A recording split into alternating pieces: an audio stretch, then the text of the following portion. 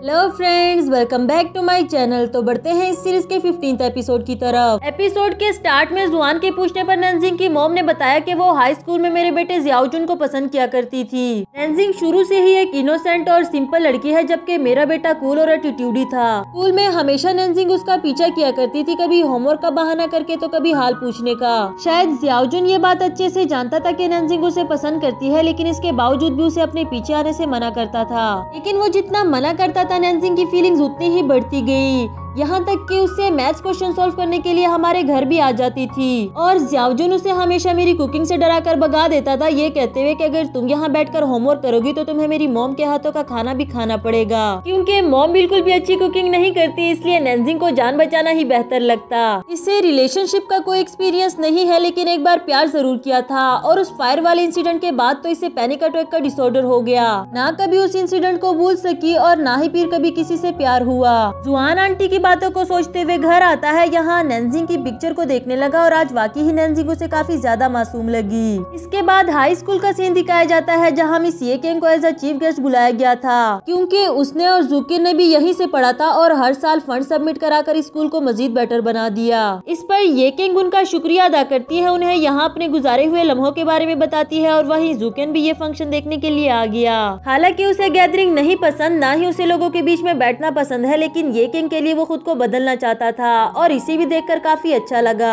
इधर नंजी को दिखाया जाता है जो फ़ंक्शन खत्म होने पर एक विपिन रूम में आती है, जहाँ वो स्कूल टाइम पर जियाजुन का पीछा करते हुए आया करती थी। लेकिन वो हमेशा की तरह नंजी को देखकर उसे डांटते हुए जाने के लिए कहता था। फिर वो यहाँ कुछ बॉक्सेस उतारने लगी और अगर जुआन यहाँ ना आता तो ये सारे बॉक्सेस उसके ऊपर गिर जाते। जुआन उसे केयरलेस कहते हुए उसकी हेल्प करने लगा। एंड नैन्जिंग उसे देखकर दिल ही दिल में कहती है जियाजुन क्या तुम जानते हो मैं फिर से और को पसंद करने लगी हूँ। लेकिन मुझमें उसे बताने की हिम्मत नहीं।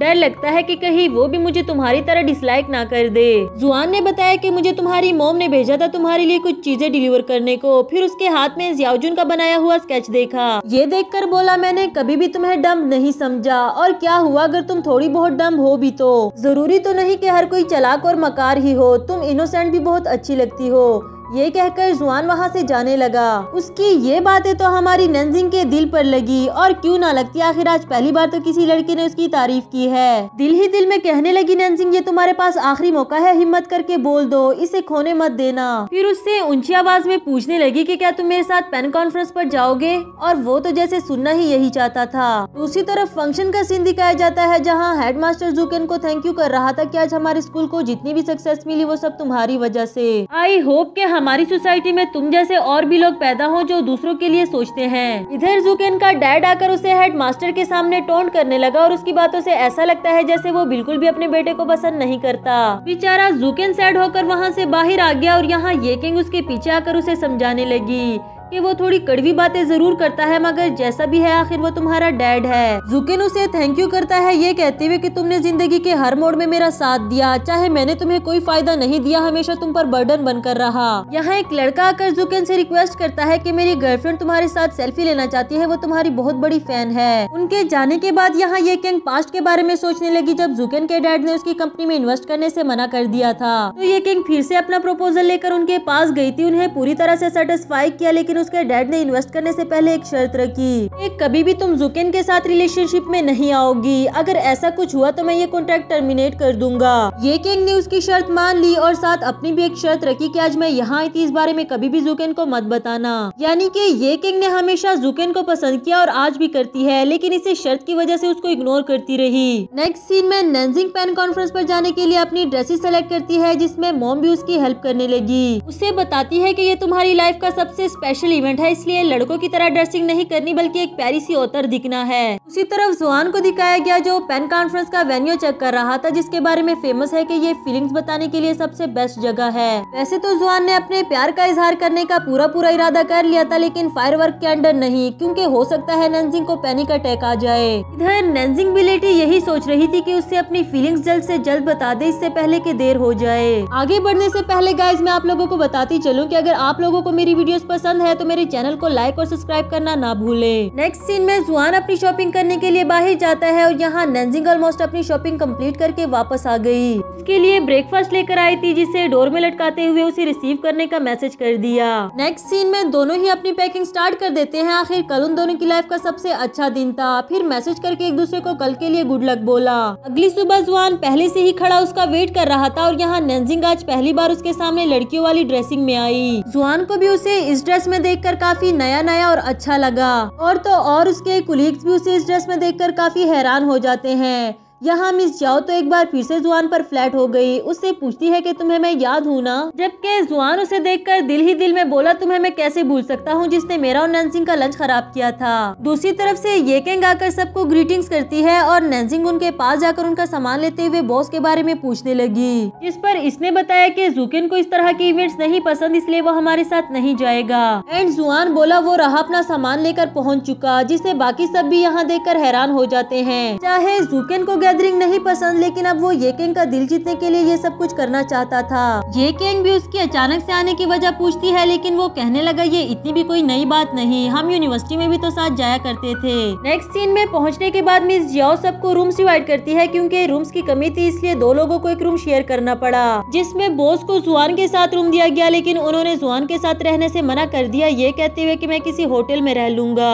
ये सुनकर नैन्सिंग उनके लिए रूम बुक करवाना चाहती थी, मगर जुआन ने मना कर दिया तुम अब इनके असिस्टेंट नहीं रही, बल्कि एक ऑथर हो। जी हाँ दोस्तों, ये वही जुआन है जो एक टाइम में नैनजिंग और जुकिन की सेटिंग करवाना चाहता था और अब नैनजिंग को उसके पास भी जाने नहीं देता। इसके बाद सभी अपना सामान रखने के लिए रूम में जाने लगे और थोड़ी ही देर में इन सबको बाहर लंच करने के लिए जाना था। इसके बाद हमें इन सभी को बाहर लंच पर जाते हुए दिखाया गया, जहाँ ये कहेंगे एक बार फिर से जुकिन से पूछने लगी कि क्या तुम सच में हमारे साथ आना चाहते हो? कहीं तुमने इरादा तो नहीं बदल दिया। लेकिन इस बार उसके इरादे पुख्ता थे, उन सभी के साथ चल पड़ा। फिर जुआन मौका ढूंढते ही नंजी को वहाँ से भगा ले आया क्योंकि इस बार वो सारा टाइम इसके साथ स्पेंड करना चाहता है और किसी को भी कबाब में हड्डी बनने नहीं देना चाहता। उससे सारी उसकी फेवरेट डिशेस खिलाता है जिस जिस के लिए नैनसिंग उसे कहती गई और इससे पहले के नैनसिंग उसे बता पाती कि आज उसे कितना अच्छा लग रहा है। कि ऑफ़िस का पूरा स्टाफ इन दोनों को ढूंढते हुए यहाँ पहुँच आया और एक बार फिर से इन दोनों की बात वहीं की वहीं रह गई। लेकिन जुआन भी हार मानने वाला कहाँ था? जैसे ही उन लोगों की अटेंशन डाइवर्ट हुई नैनसिंग को वहाँ से उठाकर ले आया।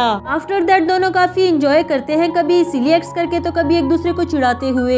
यहाँ एक जगह आकर नैनसिंग पोर्ट्रेट बनाने की जिद करने लगी और जुआन को बताती है की चलो मेरे साथ मैं तुम्हें सिखाती हूँ। जुआन भी काफ़ी मज़े मज़े से उसके साथ बनाने लगा, चाहे उसे कुछ भी बनाना नहीं आ रहा था। फिर जब नैनसिंग उसका हाथ पकड़कर उसे सिखाने लगी तो यहाँ इन दोनों का आई कॉन्टेक्ट होता है। दूसरी तरफ़ जूकिन को दिखाया गया, जो की दूर ही बैठे ये किंग को देख रहा था और वही जुआन आकर उसके पास बैठते हुए कहने लगा, अब तो मुझे तुम पर रहम आने लगा है। एक रिलेशनशिप में आना ही तुम्हारे लिए पहाड़ जितना मुश्किल काम हो गया, वो भी अपनी बेस्ट फ्रेंड के साथ। ये बोला, अब ऐसी भी कोई बात नहीं है। तुम्हारा नॉवल पढ़ने के बाद मुझे थोड़ी सी मोटिवेशन मिली चाहे मेल लीड फीमेल को खुशियाँ तो नहीं दे सकता, लेकिन अपना प्यार बताने की हिम्मत तो रखता है। जुआन बोला, क्या मतलब? अगर एक लड़का ब्रेव है, उसे मार्शल आर्ट आती है तो क्या वो लड़कियों को पसंद नहीं आएगा? ऐसा तो सिर्फ़ तुम्हें ही लगता है। जुकेन फिर से बोला, तुम्हारे नॉवल के अकॉर्डिंग एक लड़का जो कि फीमेल लीड के साथ रिलेशनशिप में आ गया। इस तरह उसके अनफॉरगेटेबल लव की विश पूरी हो गई। फेरी ने तो अपना मिशन पूरा कर दिया और वो लड़का जो पता नहीं कहाँ से आया था और विश पूरी करने के बाद कहाँ चला गया, किसी को कुछ पता नहीं। जबकि फीमेल लीड इस रियल वर्ल्ड में हमेशा के लिए अकेली रह जाती है तो क्या तुम्हें नहीं लगता कि लड़कियाँ ऐसे लड़कों को पसंद नहीं करती? जुकिन क्या कहना चाहता है और क्या नहीं, ये तो जुआन को नहीं पता, लेकिन एक बात तो उसे समझ आ गई कि नंसिंग की विश पूरी होने के बाद वो यहाँ से गायब हो जाएगा। इस बात को लेकर वो काफ़ी ज़्यादा सैड हो गया।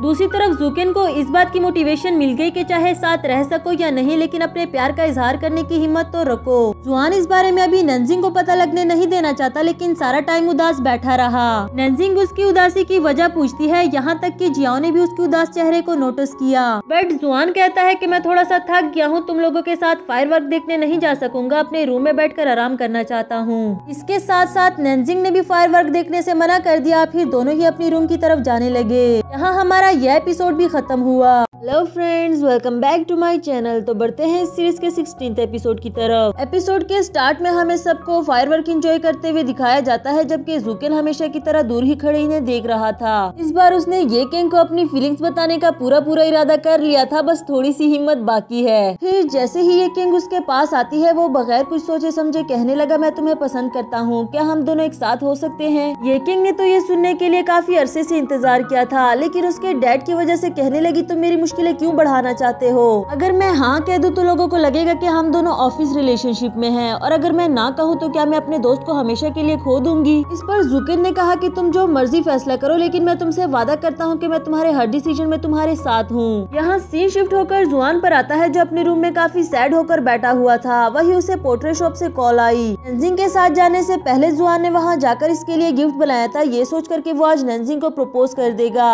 लेकिन फ़िलहाल के लिए शॉप ओनर को मना कर दिया। क्योंकि उसे लगता है वो यहाँ नंजिंग को हमेशा के लिए छोड़कर चला जाएगा। सैड होकर फायर वर्क को देखता है वही नंजिंग की आवाज़ आई जो की हेल्प के लिए चिल्ला रही थी। जुआन फ़ौरन से टेलीपोर्ट होकर आता है और पूछने लगा, कहाँ है बदमाश? जिस पर नंजिंग बोली, तुम तुम हो ना? एक्चुअली मैं तुम्हें देखना चाहती थी, मैंने तुम्हें इसलिए बुलाया। जुआन ये सुनकर उसे इग्नोर करते हुए जाने ही लगा था कि नंजिंग फिर से कहने लगी, तुम नहीं जा सकते, वरना तुम्हें हेडिक हो जाएगा। उसके पास जाते हुए कहने लगी फाइनली मुझमें हिम्मत आ गई, तुम्हें बताने की कि मैं तुम्हें पसंद करती हूँ। इस पर जुआन पहले तो खामोश खड़ा रहा, लेकिन बाद में कहने लगा, हम दोनों एक साथ नहीं हो सकते, क्योंकि मेरे पास इस सहरा की कोई आइडेंटिटी नहीं। मैं तो ये भी नहीं जानता कि मैं कहाँ से आया हूँ और वापस कहाँ चला जाऊँगा।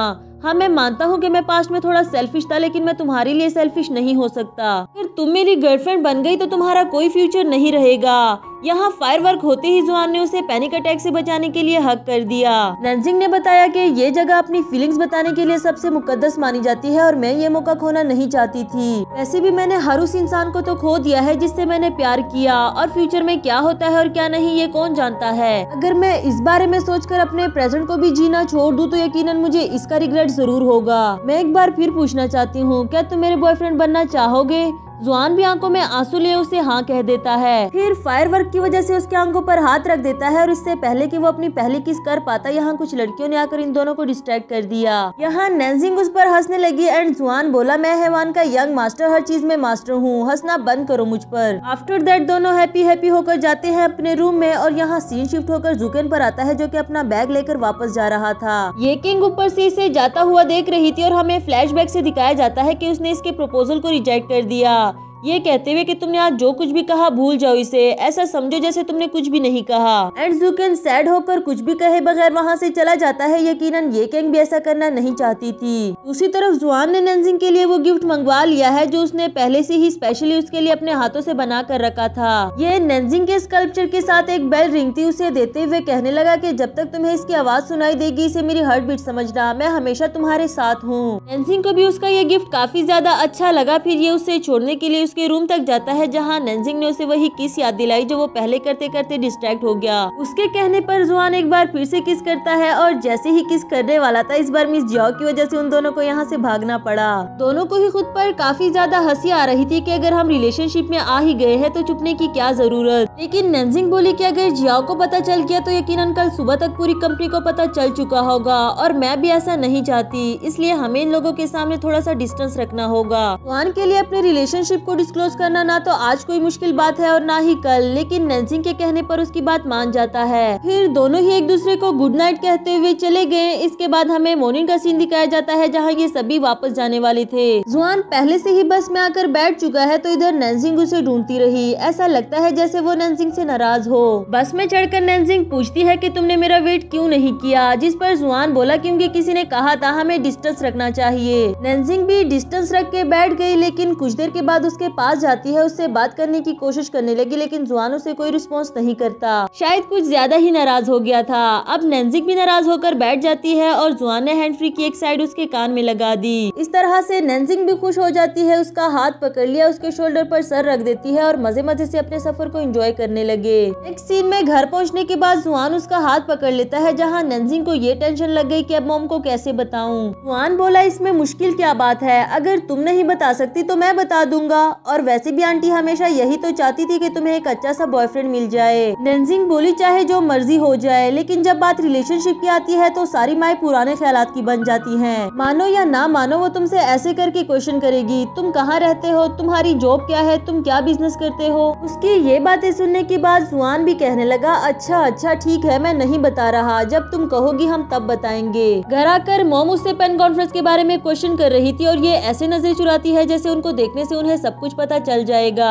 मोम पूछने लगी कि तुम अकेली क्यों आ गई? मैंने जियोंग का भी खाना बनाया था। अब जाकर उसे फ़ौरन से लेकर आओ। एनजिंग उसे ना लाने के बहाने करती है और मोम ने उसे ज़बरदस्ती भेज दिया। इस पर मोम को भी लगा कि कहीं इन दोनों की लड़ाई तो नहीं हो गई। इधर ये दोनों सोच रहे थे कि क्या करे, कैसे जाए? अगर नहीं जाएँगे तो कल तक भूख से मर जाएँगे और अगर चले गए तो मोम को सब कुछ पता चल जाएगा। पर जुआन को ख्याल आया कि ये कोई पहली बार तो नहीं कि मैं तुम लोगों के साथ खाना खाऊँगा। चलो अब जो भी होगा उसे बाद में देख लेंगे। जाने से पहले वो नंजिंग को हक करके हौसला देने के लिए कहता है, ऐसे ही जैसे वो किसी बड़ी सी जंग पर जा रहा हो। इनके पहुँचने से पहले यहाँ मोम इन्हें देखने के लिए आ जाती है की इतनी देर हो गई, पता नहीं कहाँ रह गए। और मोम को देखते ही इन दोनों ने एक्सरसाइज स्टार्ट कर दी। नेक्स्ट सीन में मोम जुआन से कहती है की तुम्हें पता है नंजिंग डम्पलिंग्स बहुत अच्छे बना लेती है, तुम्हें भी सिखा देगी। नंजिंग ने फ़ौरन से मना कर दिया और जुआन एक साथ हाँ कर देता है। इस पर नंजिंग उसे धीमी आवाज़ में कहने लगी, मैंने कहा था ना मुझसे डिस्टेंस रखना? एंड जुआन बोला मैंने भी तो कहा था कि नॉर्मली एक्ट करना कुछ भी नहीं होगा।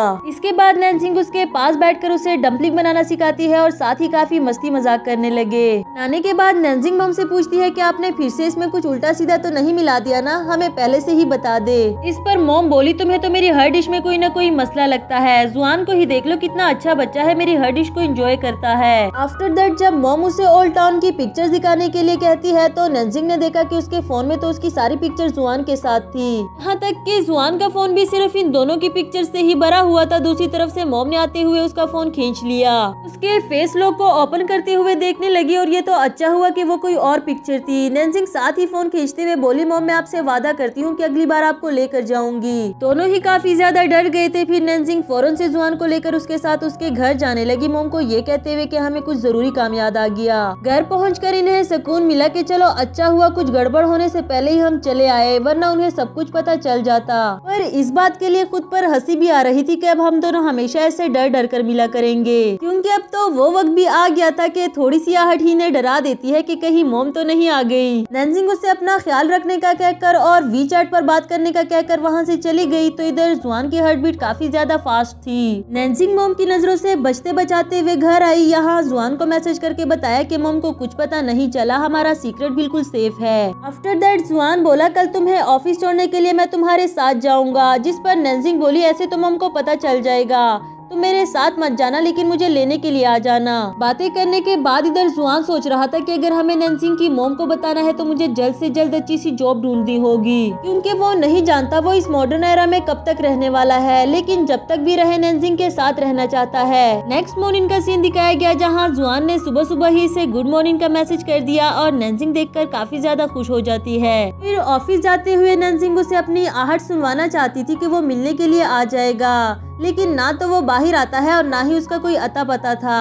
पर ये खुद से ही कहने लगी कि मैंने साथ जाने के लिए मना क्या कर दिया था, ये तो सच में ही मना हो गया। इसके बाद नैनजिंग जैसे ही बस स्टॉप पर पहुँची, यहाँ जुआन उससे पहले ही खड़ा उसका वेट कर रहा था। उसके लिए फूल लाया था, उसे हैप्पी हैप्पी फेस के साथ गुड मॉर्निंग करता है और फिर नैनजिंग उसे बाय बाय करते हुए बस में चढ़ गई। आज ऑफ़िस में भी नैनजिंग सारा दिन काफ़ी ज़्यादा खुश थी और क्यूँ ना होती उसकी इतनी बड़ी विश जो पूरी हो गई है। फिर फ़ाइल देने के लिए जुकेन के ऑफ़िस में जाती है, उनकी पिक्चर को सेट करके रख दिया और यहाँ जुकेन को देखकर काफ़ी ज़्यादा डर गई इसी के साथ हमारा ये एपिसोड भी खत्म हुआ।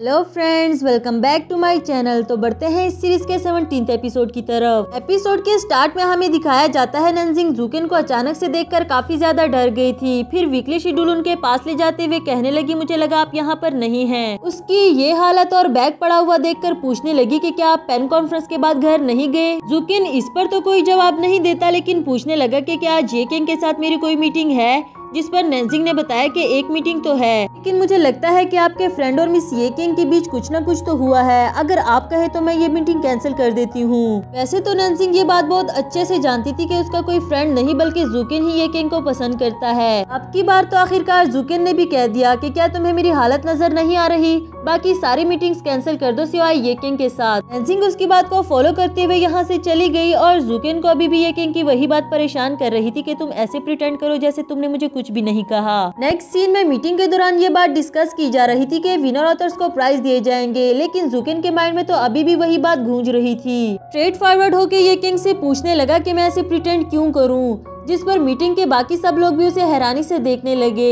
ये किंग उसकी कंडीशन समझ जाती है और फ़ौरन से ही मीटिंग कैंसिल कर दी। ये कहते हुए कि हम इस बारे में बाद में डिस्कस करेंगे। मीटिंग खत्म होने के बाद भी जूकिन अपने सवाल का जवाब मांगना चाह रहा था, लेकिन ये किंग बोली, तुम पेन कॉन्फ्रेंस के बाद घर नहीं गए ना? मैं ड्राइवर को बुला के तुम्हें घर बेचती हूँ। जूकिन ऐसे मानने वाला कहाँ था? इतनी कोशिश करने के बाद ही तो उसमें यह थोड़ी सी हिम्मत आई थी। आखिरकार ये किंग भी बड़क पड़ी की अगर तुम कुलीग्स के सामने ऐसे ही बिहेव करते रहे तो हम दोनों एक साथ काम कैसे करेंगे? और अगर तुम चाहते हो कि मैं रिजाइन कर दूँ तो ठीक है, मैं ये भी कर दूँगी। वहाँ से आने के बाद नैन्सिंग को अपने रूम में बुलाया, उसे बताती है कि नोवल को लेकर मैं जुआन से पर्सनली मिलना चाहती हूँ। क्योंकि उसका कॉन्टेक्ट नंबर हमारे पास नहीं है, इसलिए तुम उसके साथ मेरी मीटिंग अरेंज करो। नंजिंग को मिस ये किंग काफ़ी ज़्यादा सैड लगी और वो वाकई ही इन बातों को लेकर काफ़ी ज़्यादा सैड थी। इसके बाद नंजिंग जुआन को कॉल लगाती है, उसे चिड़ाते हुए कहने लगी हेलो मिस्टर जुआन, मैं बैंक से कॉल कर रही हूँ। इस पर जुआन भी प्रटेंड करते हुए बोला सॉरी मिस आपने रॉन्ग नंबर मिला दिया। वैसे वो नैन्जिंग से नाराज़ था क्योंकि उसने इतनी लेट कॉल की। ये बोली, माफ़ कर दो ना वर्किंग हॉर में तुम्हें कॉल भी नहीं कर सकती। और काम करना भी तो ज़रूरी है, आखिर मेरा बॉयफ्रेंड भी जॉबलेस है, उसे भी संभालना मेरी ज़िम्मेदारी है। एंड जुआन कहने लगा, तुम्हारा बॉयफ्रेंड अब जॉबलेस नहीं रहेगा, तुमसे मिलकर तुम्हें एक बड़ा सरप्राइज़ देने वाला हूँ। नंजिंग ने भी उसे शाम को लाजमी पिक करने का बोल दिया, क्योंकि उसे भी जुआन को एक सरप्राइज़ देना था। आफ्टर दैट बताया कि मिस ये किंग तुमसे अकेले में मिलना चाहती है, लेकिन तुम्हें पहले से ही बता दूँ कि शायद उनकी बॉस से किसी बात पर लड़ाई हो गई है। तुम्हें क्या लगता है मुझे बॉस से इस बारे में पूछना चाहिए? एंड जुआन बोला, बिल्कुल भी नहीं। पूछना तो दूर की बात, तुम्हें उनके पास जाने की भी ज़रूरत नहीं सिवाय किसी इम्पोर्टेंट काम के। नैन्सिंग भी समझ गई कि वो जेलस हो रहा है, और अब तो उसे और भी चिढ़ाने लगी। नेक्स्ट सीन में ऑफ़िस से ऑफ़ होने के बाद नैन्सिंग जुआन को देखकर काफ़ी खुशी से उसकी तरफ़ हाई फाई करने के लिए भागती है, और यहाँ जुआन उसके साथ मस्ती करने लगा। फिर उसे हक कर देता है नैन्सिंग उसके पॉकेट्स में अपना सरप्राइज़ चेक करने लगी। जुआन भी उसके ये बेसब्री देखकर अपने फ़ोन में से बर्थ सर्टिफिकेट सर्टिफिकेट दिखाते हुए कहने लगा कि आज पूरा दिन लगाकर मैंने अपने लिए फेक बर्थ सर्टिफिकेट बनाया। इसके ज़रिए मैं कॉलेज का एंट्रेंस एग्ज़ाम दे सकूँगा। इंटेलिजेंट तो मैं वैसे भी हूँ, फिर देखना तीन चार साल के बाद ये कंपनी हमारी हो जाएगी। जुकेन और ये किंग को बाहर निकाल देंगे, फिर देखना यहाँ सिर्फ़ हमारे ही रूल्स चलेंगे। नैन्सिंग उस पर हंसकर ऐसा करने से मना करती है, जिस पर जुआन भी कहने लगा हाँ मैं जानता था कि तुम ऐसा ही कहोगी। लेकिन कम अज कम पढ़ने लिखने के बाद मैं जॉब तो कर सकूँगा ना। नैन्सिंग ने उसका बर्थ सर्टिफिकेट भी डिलीट कर दिया कि मैं अपने बॉयफ्रेंड को तो फ़ीड कर ही सकती हूँ। अब चलो मेरे साथ मुझे तुम्हें एक स्पेशल जगह दिखानी है। नेक्स्ट सीन में उसे अपने हाई स्कूल लेकर आई। साथ साथ उसे अपने कारनामे बताती है जो वो स्कूल टाइम में किया करती थी और जुआन उसकी बातें सुन सुनकर उस पर हंसता रहा। फिर उसे अपनी क्लास दिखाने के लिए लाई और यहाँ एक स्टूडेंट की कहानी सुनाने लगी कि वो जब भी बोर्ड पर कोई सेंटेंस लिखता तो उसके आखिर में यू ज़रूर लिख देता था। हम में से कोई भी नहीं जानता था कि आखिर वो ऐसा क्यों करता है? लेकिन ग्रेजुएशन के बाद आखिर उसने उस लड़की को अपनी फीलिंग्स बता ही दी जिसके लिए वो यू लिखा करता था। ये बात सुनकर जुआन भी फ़ौरन से बोर्ड की तरफ़ जाता है और बोर्ड पर नंसिंग का नाम लिखकर उसके अराउंड दिल बना दिया। वो भी देखकर काफ़ी ज़्यादा खुश हुई, फिर बोर्ड के पास आकर अपने नाम के साथ जुआन का नाम लिखकर फिर से दिल बनाया। अब जुआन को तो उस पर इतना ज़्यादा प्यार आया की उसका हाथ पकड़कर उसे किस करने लगा, लेकिन हमेशा की तरह इस बार गार्ड के आ जाने की वजह से किस नहीं कर पाते। नंसिंग काफ़ी डर जाती है और जुआन उसका हाथ पकड़कर भगाते हुए ले गया। नेक्स्ट मॉर्निंग ऑफ़िस जाते हुए नंजिंग उसे बताती है कि मेरे जाने के कुछ टाइम के बाद आना और हाँ मीटिंग में जो बात भी हुई मुझसे शेयर ज़रूर करना। उसे तो इतना ज़्यादा डर लग रहा था कि ना तो जुआन को अपना हाथ पकड़ने देती है और ना ही उसे सही से हक करने दे रही थी। कि कहीं ऑफ़िस के कुलीग्स ही ना देख ले। फिर उसे बाय बाय करते हुए भाग गई और यहाँ जुआन की नज़र एक शॉप पर पड़ी जिसमें रखा हुआ गिफ्ट उसे काफ़ी अच्छा लगा। नेक्स्ट सीन में नंजिंग के लिए वही गिफ्ट लेकर पहुँच आया मिस ये किंग से मिलने के लिए जहाँ इन्होंने कॉन्ट्रैक्ट के बारे में डिस्कस करना था। ये केंग ने बताया की मैं जानना चाहती हूँ की इस नॉवल में तुमने कितना कंट्रीब्यूट किया, क्यूँकी नंजिंग का क्रिएटिविटी लेवल तो मैं पहले से ही जानती हूँ। अगर बात पैसों की आई तो यकीन नंजिंग कभी भी तुमसे अपना शेयर नहीं मांग सकेगी, इसलिए मैं सब कुछ पहले से ही क्लियर करना चाहती हूँ। हूँ बिकॉज़ जो नॉवल तुम दोनों ने मिलकर लिखा है, वो तो इस कंपनी में आने से पहले ही नैन्सिंग ने पब्लिक कर दिया था। उसे नैन्सिंग का लिखा हुआ नॉवल दिखाती है, जिसमें उसने जुआन को विलन बनाया हुआ था, और वो भी देखकर काफ़ी ज़्यादा शॉक्ड हो गया। बट इससे कहीं ज़्यादा तो उसका दिल टूटा कि नैन्सिंग स्टार्ट से ही सब कुछ जानती थी, लेकिन अब तक मुझसे झूठ बोलती रही। काफ़ी स्पीचलेस होकर बगैर कुछ कहे वहाँ से जाने लगा, और नैन्सिंग की तरफ़ तो देखा भी नहीं। इधर नैन्सिंग भी उसे ऐसे जाता हुआ देखकर उसके पीछे भागती है उससे बात करने की कोशिश करती है, पूछने लगी कि मिस ये किंग ने तुमसे क्या कहा? जुआन उसकी सुने बगैर कहने लगा सच सच बताओ मैं कौन हूँ? मेरे यहाँ आने से पहले तुम जानती थी ना कि मैं कौन हूँ? तो एट लास्ट में एग्जिस्ट ही नहीं करता। मैं एक फिक्शनल करेक्टर हूँ, एक डेवल जिसे तुमने लिखा। नैन्सिंग उसे क्लेरिफाई करने वाली थी और जुआन ये कहते हुए जाने लगा की मैं तुम्हें नहीं देखना चाहता। मैं कुछ टाइम के लिए अकेला रहना चाहता हूँ, इसलिए मेरे पीछे मत आना। नैन्सिंग फिर भी उसे रोकने लगी, जिस पर जुआन गुस्सा हो गया, जबकि वो नैन्सिंग पर गुस्सा भी नहीं करना चाहता। उसे गिफ्ट पकड़ाते हुए वहाँ से चला गया। इसके बाद नैन्सिंग सैड होकर अपने ऑफ़िस आती है, उसके दिए हुए गिफ्ट को देखकर उसकी बातें सोचती है और साथ ही उसे काफ़ी रोना आ रहा था। यहाँ मिस ये किंग ने उसे मैसेज करके अपने ऑफ़िस बुलाया, फिर ऑफ़िस में जाने के बाद उसे क्लेरिफाई करती है की मैंने ये सब कुछ क्यूँ किया। लेकिन जुआन की हालत देखकर उन्हें लगा की शायद मैंने कुछ ज़्यादा ही कर दिया हो और तुम दोनों की फ्रेंडशिप भी खराब कर दी। नैन्सिंग बोली, कोई बात नहीं, मैंने भी आपके और बॉस के बीच में इंटरफेयर किया है, मैं उसके लिए माफ़ी मांगना चाहती हूँ। पर इधर ये किंग को तो सब कुछ पहले से ही पता था। कहने लगी कि उसका रोज मुझे ऐसे सीक्रेटली देखना और तुम्हारे ऐसे अजीब बिहेवियर से मैं सब कुछ समझ गई थी। नैन्सिंग ने बताया कि वो आपको बहुत पसंद करते हैं बिहाइंड द सीन उन्होंने आपके लिए काफ़ी हार्ड वर्क की। एंड ये किंग बोली कि मैं ये भी जानती हूँ। खैर, मैं रिजाइन देने से पहले तुम्हारे लिए सब कुछ क्लियर करना चाहती थी। बेचारी नंसिंग का दिल तो पहले से ही भरा हुआ था और इनके रिजाइन का सुनकर तो रोने ही लग गई। सीन शिफ्ट होकर जुआन पर आता है, जो अंधेरी रूम में बैठकर ये सोच रहा था कि मेरी सारी लाइफ तो सरासर एक झूठ थी।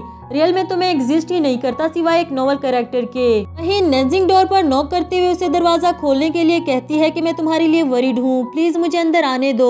जुआन दरवाजे के पास ही बैठा उसे सुन रहा था, मगर उसके लिए दरवाज़ा नहीं खोलता और नेंजिंग को लगा कि शायद वो घर पर नहीं है, इसलिए अपने घर चली गई। इधर मोम ने नेंजिंग के लिए उसकी फेवरेट डिश बनाई थी, लेकिन नेंजिंग कहने लगी कि मुझे भूख नहीं है। कुछ टाइम वॉक करने के लिए बाहर जाना चाहती हूँ, आप अकेले ही खा लेना। फिर बाहर ही खड़े जुआन के आने का वेट कर रही थी कि वो जैसे ही आएगा, मैं उसे सब कुछ क्लियर कर दूँगी।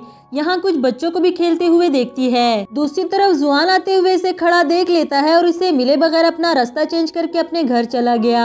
ये सोचकर उसे अपनी इस हरकत पर काफ़ी ज़्यादा बुरा भी लगा कि मैं भी नंजिंग के साथ वही कर रहा हूँ जो इस दुनिया वालों ने किया। अपने टेडी बेयर को देखते हुए कहने लगा, मुझे ऐसे मत देखो, मैं उसे कोई सजा नहीं दे रहा। बल्कि मैं तो खुद भी नहीं जानता कि उसका सामना कैसे करूँ कैसे करूँ उससे बात। मैं जानता हूँ कि इस सारे मामले में उसकी कोई गलती नहीं है। और फिर मैंने उसे थोड़ी कहा था कि वहाँ खड़े होकर मेरा वेट करे। वो जितना मर्ज़ी चाहे नंजिंग को इग्नोर करे, लेकिन उसे वहाँ खड़े भी तो नहीं छोड़ सकता। बैल्कनी से उसे देखने लगा। इधर नंजिंग ने इस बच्चे का मास्क ले लिया था, जो कि अब घर जाते हुए उससे वापस मांग रहा था, और नंजिंग थोड़ी देर और अपने पास रखने के लिए कहती है। बच्चे की मोम भी मास्क वापस करने के लिए कहती है, लेकिन वो कहने लगी की मैं किसी का वेट कर रही हूँ। प्लीज़ इसे थोड़ी देर मेरे पास रहने दे। वही जुआन आ गया जिसे देखकर नंजिंग खुश हो जाती है और हमारा एपिसोड यहाँ पर खत्म हुआ।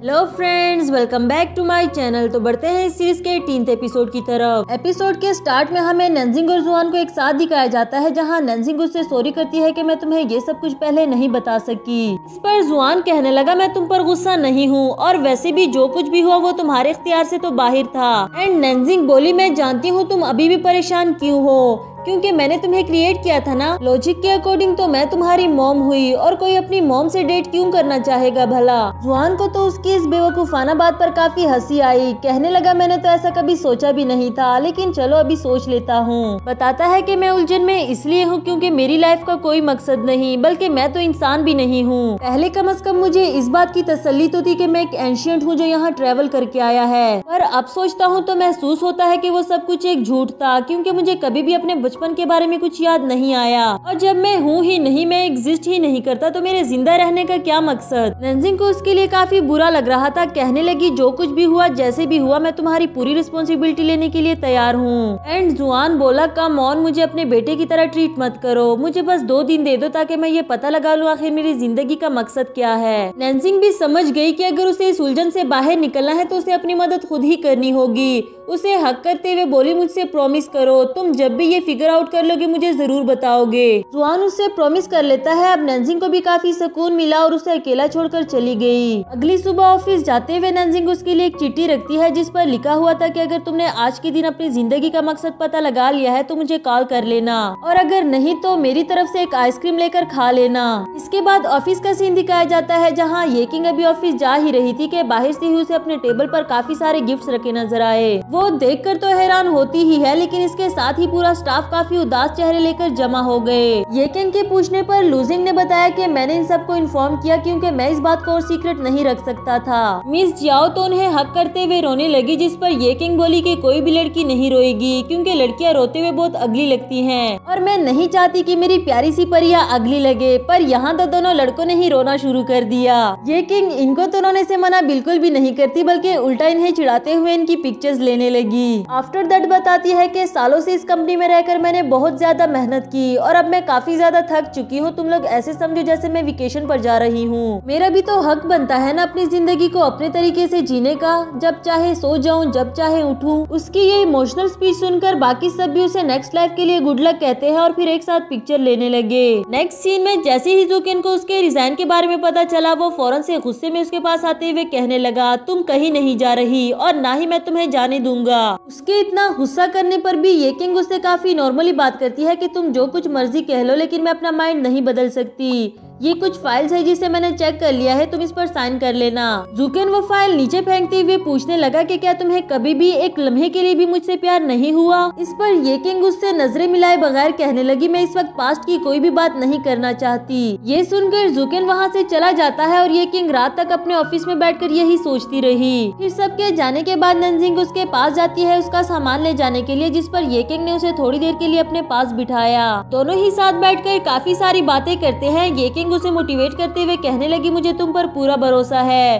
एक दिन तुम जुकेन की तरह एक अच्छी राइटर बन जाओगी। नैन्सिंग को तो खुद से ऐसी कोई उम्मीद नहीं थी कि वो जुकिन की तरह अच्छी राइटर बन सकेगी, लेकिन अगर ये किंग ने कह दिया तो यकीनन वो कर सकती है। साथ टाइम स्पेंड करने के बाद नैन्सिंग उसके साथ उसका सामान लेकर जाती है और ये किंग अपने कार में जाते हुए काफ़ी सेटिस्फाइड लग रही थी। फाइनली जो उसने जुकेन के डैड से वादा किया था, वो पूरा कर लिया, पर इधर जुकेन काफ़ी बड़ी उलझन में है। यही सोच सोच कर के आखिर ये किंग के लिए मेरे एक छोटे से सवाल का जवाब देना इतना मुश्किल क्यों हो जाता है? दूसरी तरफ़ ये किंग आती है, एक बेकरी शॉप में उन्हें बताती है कि मैंने अपनी जॉब से रिजाइन कर दिया।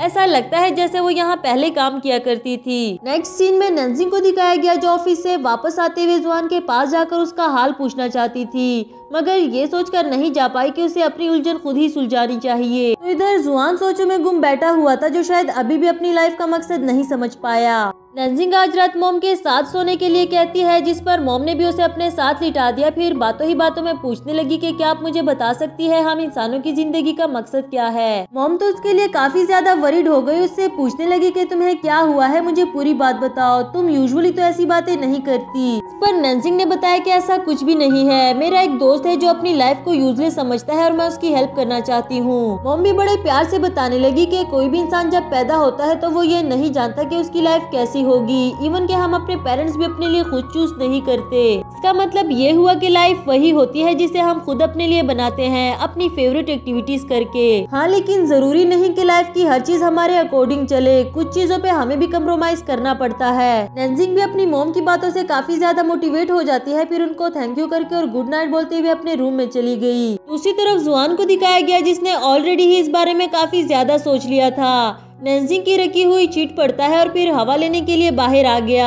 इधर नैन्जिंग भी अभी तक नहीं सोई, उसे देखकर बताने लगी कि मुझे मॉम ने लाइफ के बारे में क्या समझाया। तुम भी बाकी सब कुछ भूलकर वही करो जो तुम्हें पसंद है। ऐसे तुम्हें भी तुम्हारी लाइफ का मकसद मिल जाएगा। जुआन उसे इस बारे में सोचने के लिए मना कर देता है की सोचने के लिए मैं खुद ही काफ़ी हूँ। जिस पर नंजिंग बोली के सोचने के साथ साथ तो तुमने खाना पीना भी छोड़ दिया है। अगर ऐसे ही चलता रहा और मेरा चार्मिंग बॉयफ्रेंड अगली बन गया तो देख लेना, मैं तुम्हें फेरी को वापस कर दूँगी। जुआन को भी उसकी बातें सुनकर काफ़ी ज़्यादा मोटिवेशन मिली, लेकिन इस बात का अफसोस अभी भी था कि उसे अपने बचपन के बारे में कुछ भी नहीं याद। जिन को भी उसके मुँह से ये बात सुनकर उसके लिए बुरा लगा, फिर कहने लगी, मैं तुमसे वादा करती हूँ, मैं तुम्हारी पूरी रिस्पॉन्सिबिलिटी लूँगी। फिर दोनों ही एक दूसरे को गुड नाइट कहते हुए चले गए और फाइनली जुआन को भी सुकून की नींद आई। नेक्स्ट मॉर्निंग जुकिन को अपने डैड के साथ दिखाया गया, जहाँ डैड उसे कह रहा था कि क्या हो गया अगर ये किंग ने रिजाइन दे दिया तो कोई पहाड़ तो नहीं टूट गया। तुम कंपनी के बॉस हो, तुम्हें कंपनी को चलाना आना चाहिए।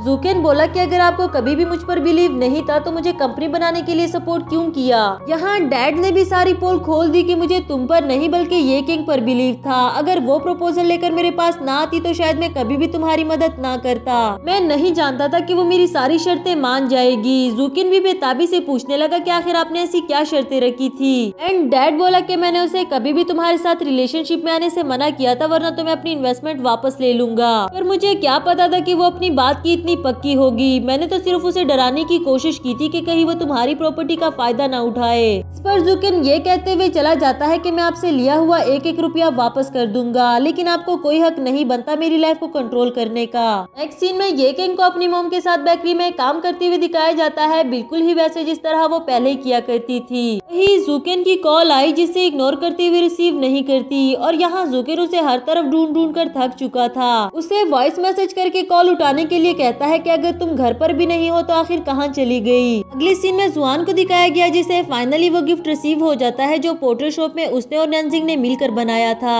ये कहते हुए कि ये वाला गिफ्ट हमें हमेशा के लिए आज का दिन याद दिलाएगा। यहाँ नैनजिंग उसे हेल्प के लिए आवाज़ लगाती है और उसे टेलीपोर्ट होकर जाना पड़ा। फिर देखा की वो एक बच्चे के झूले में आ गया। यहाँ तक के नैनजिंग ने तो उसे चूसनी भी पकड़ा दी। कहने लगी की हमारी फैमिली में तुम्हारा स्वागत है। आज के बाद तुम हमारी फैमिली का मेंबर हो और जो बचपन तुमने नहीं देखा, मैं वो तुम्हें सारा दिखाना चाहती हूँ। इसके बाद उसे मज़े मज़े से स्टूडेंट्स की तरह पोइम पढ़ाने लगी, चुपके से कॉमिक बुक देती है और फिर खुद ही टीचर बनकर उसको पकड़ भी लिया। ये कहते हुए कि तुम्हारा सारा ध्यान कॉमिक बुक पर था, अब तुम्हें इसकी सजा मिलेगी, जाकर क्लास से बाहर खड़े हो जाओ। जुआन को तो उसकी इस हरकतों पर काफ़ी ज़्यादा हँसी आ रही थी। आफ्टर दैट दोनों ग्रेजुएशन सर्टिफिकेट के साथ मज़े मज़े के पोजेस बनाकर पिक्चर्स लेते हैं। क्योंकि जुआन को आज एक नई ज़िंदगी मिली, इसलिए नंजिंग ने आज के दिन को उसका बर्थडे बना दिया। केक के साथ साथ उसके लिए काफ़ी सारी डेकोरेशन कर रखी थी और उसे विश मांगने के लिए कहती है। इस पर जुआन ने विश की कि मैं हमेशा के लिए इस दुनिया में रहकर यहाँ नंजिंग को प्रोटेक्ट कर सकूँ। दोनों ही एक साथ कैंडल को ब्लो आउट करते हैं और फाइनली जुआन ने नंजिंग को किस कर दी। इसका मतलब तो यही हुआ कि जुआन ने अपने आप को एक्सेप्ट कर लिया है, बस वो यहाँ रहकर हमेशा नंजिंग के साथ रहना चाहता है। लेकिन अनफॉर्चुनेटली जुआन इसी दौरान गायब हो जाता है क्योंकि नंजिंग की अनफॉरगेटेबल लव वाली विश भी पूरी हो गई। पहले तो नंजिंग को लगा कि शायद वो मेरे साथ मज़ाक कर रहा है, लेकिन फिर रोते हुए उसको ढूँढने लगी। फ़ौरन से भागते हुए घर आई, यहाँ से चाबी लेकर जुआन के घर जाती है और उसकी अलमारी चेक करने लगी। जहाँ एंशियंट एरा का वो सामान जो कि जुआन अपने साथ लेकर आया था, सारा का सारा गायब था। इस पर नैनसिंग समझ गई कि वो हमेशा के लिए यहाँ से वापस चला गया है। रोते हुए उसे पुकारती है, अपनी हेल्प के लिए बुलाने लगी। लेकिन अब जुआन उसकी हेल्प करने के लिए नहीं आता। दूसरी तरफ़ जुआन को दिखाया गया जो कि अपने एंशियंट एरा में वापस आ गया।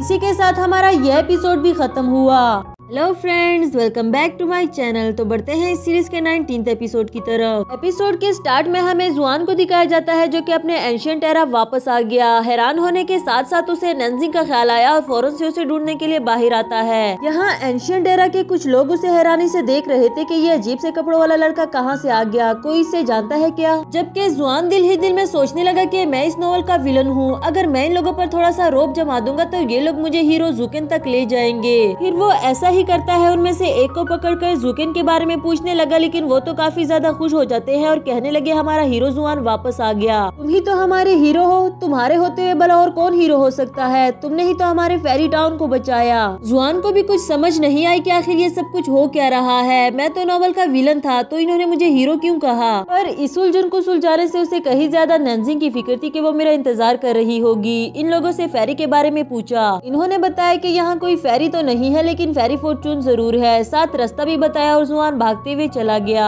यहाँ आकर विश करता है प्लीज़ मेरी हेल्प करो, मुझे वापस भेज दो। नंसिंग मेरा वेट कर रही होगी। काफ़ी कोशिश करने के बाद भी जुआन वही रहता है। इवन के अपना कॉइन भी पानी में फेंक कर देख लिया, जिस तरह के नंजिंग ने विश मांगी थी। जब इससे भी काम नहीं बना तो जुआन को याद आया की नंजिंग को मैं पानी में से मिला था। अब वो ये रास्ता भी अख्तियार करने लगा। पानी में कूद जाता है, जो की उसके घुटनों तक भी नहीं आ रहा था। खुद को ज़बरदस्ती डुबोने की कोशिश करने लगा, लेकिन इसका भी कोई फ़ायदा नहीं हुआ। सीन शिफ्ट होकर नंजिंग पर आता है जो कि अभी भी जुआन के घर में बैठी हुई थी और वही गिफ्ट हाथ में लेकर उसे देख रही थी। शायद थोड़ा ही सही, लेकिन उसने ये बात एक्सेप्ट कर ली कि जुआन जहाँ से आया था, एक न एक दिन उसे वापस तो जाना ही था। दूसरी तरफ़ जुकिन को दिखाया गया जो कि फाइनली अब ये बात जान चुका है कि ये किंग उसके सवाल का जवाब क्यों नहीं दे पाती थी। सोचता है कि ये किंग ने उसे कई बार कहा था अपनी कंपनी पर अटेंशन देने के लिए कि हो सकता है मैं हमेशा के लिए तुम्हारे साथ ना रह सकूँ। अब उसे सब कुछ समझ आ गया है कि ये किंग ऐसा क्यों कहा करती थी। सीन ये किंग पर आता है जो कि अपने पेरेंट्स के साथ इस छोटे से रेस्टोरेंट को संभालने में पूरी लगन से काम करती है। जैसे वो बिल्कुल ही ये बात भूल गई हो कि वो इतनी बड़ी बिज़नेस वीमेन थी।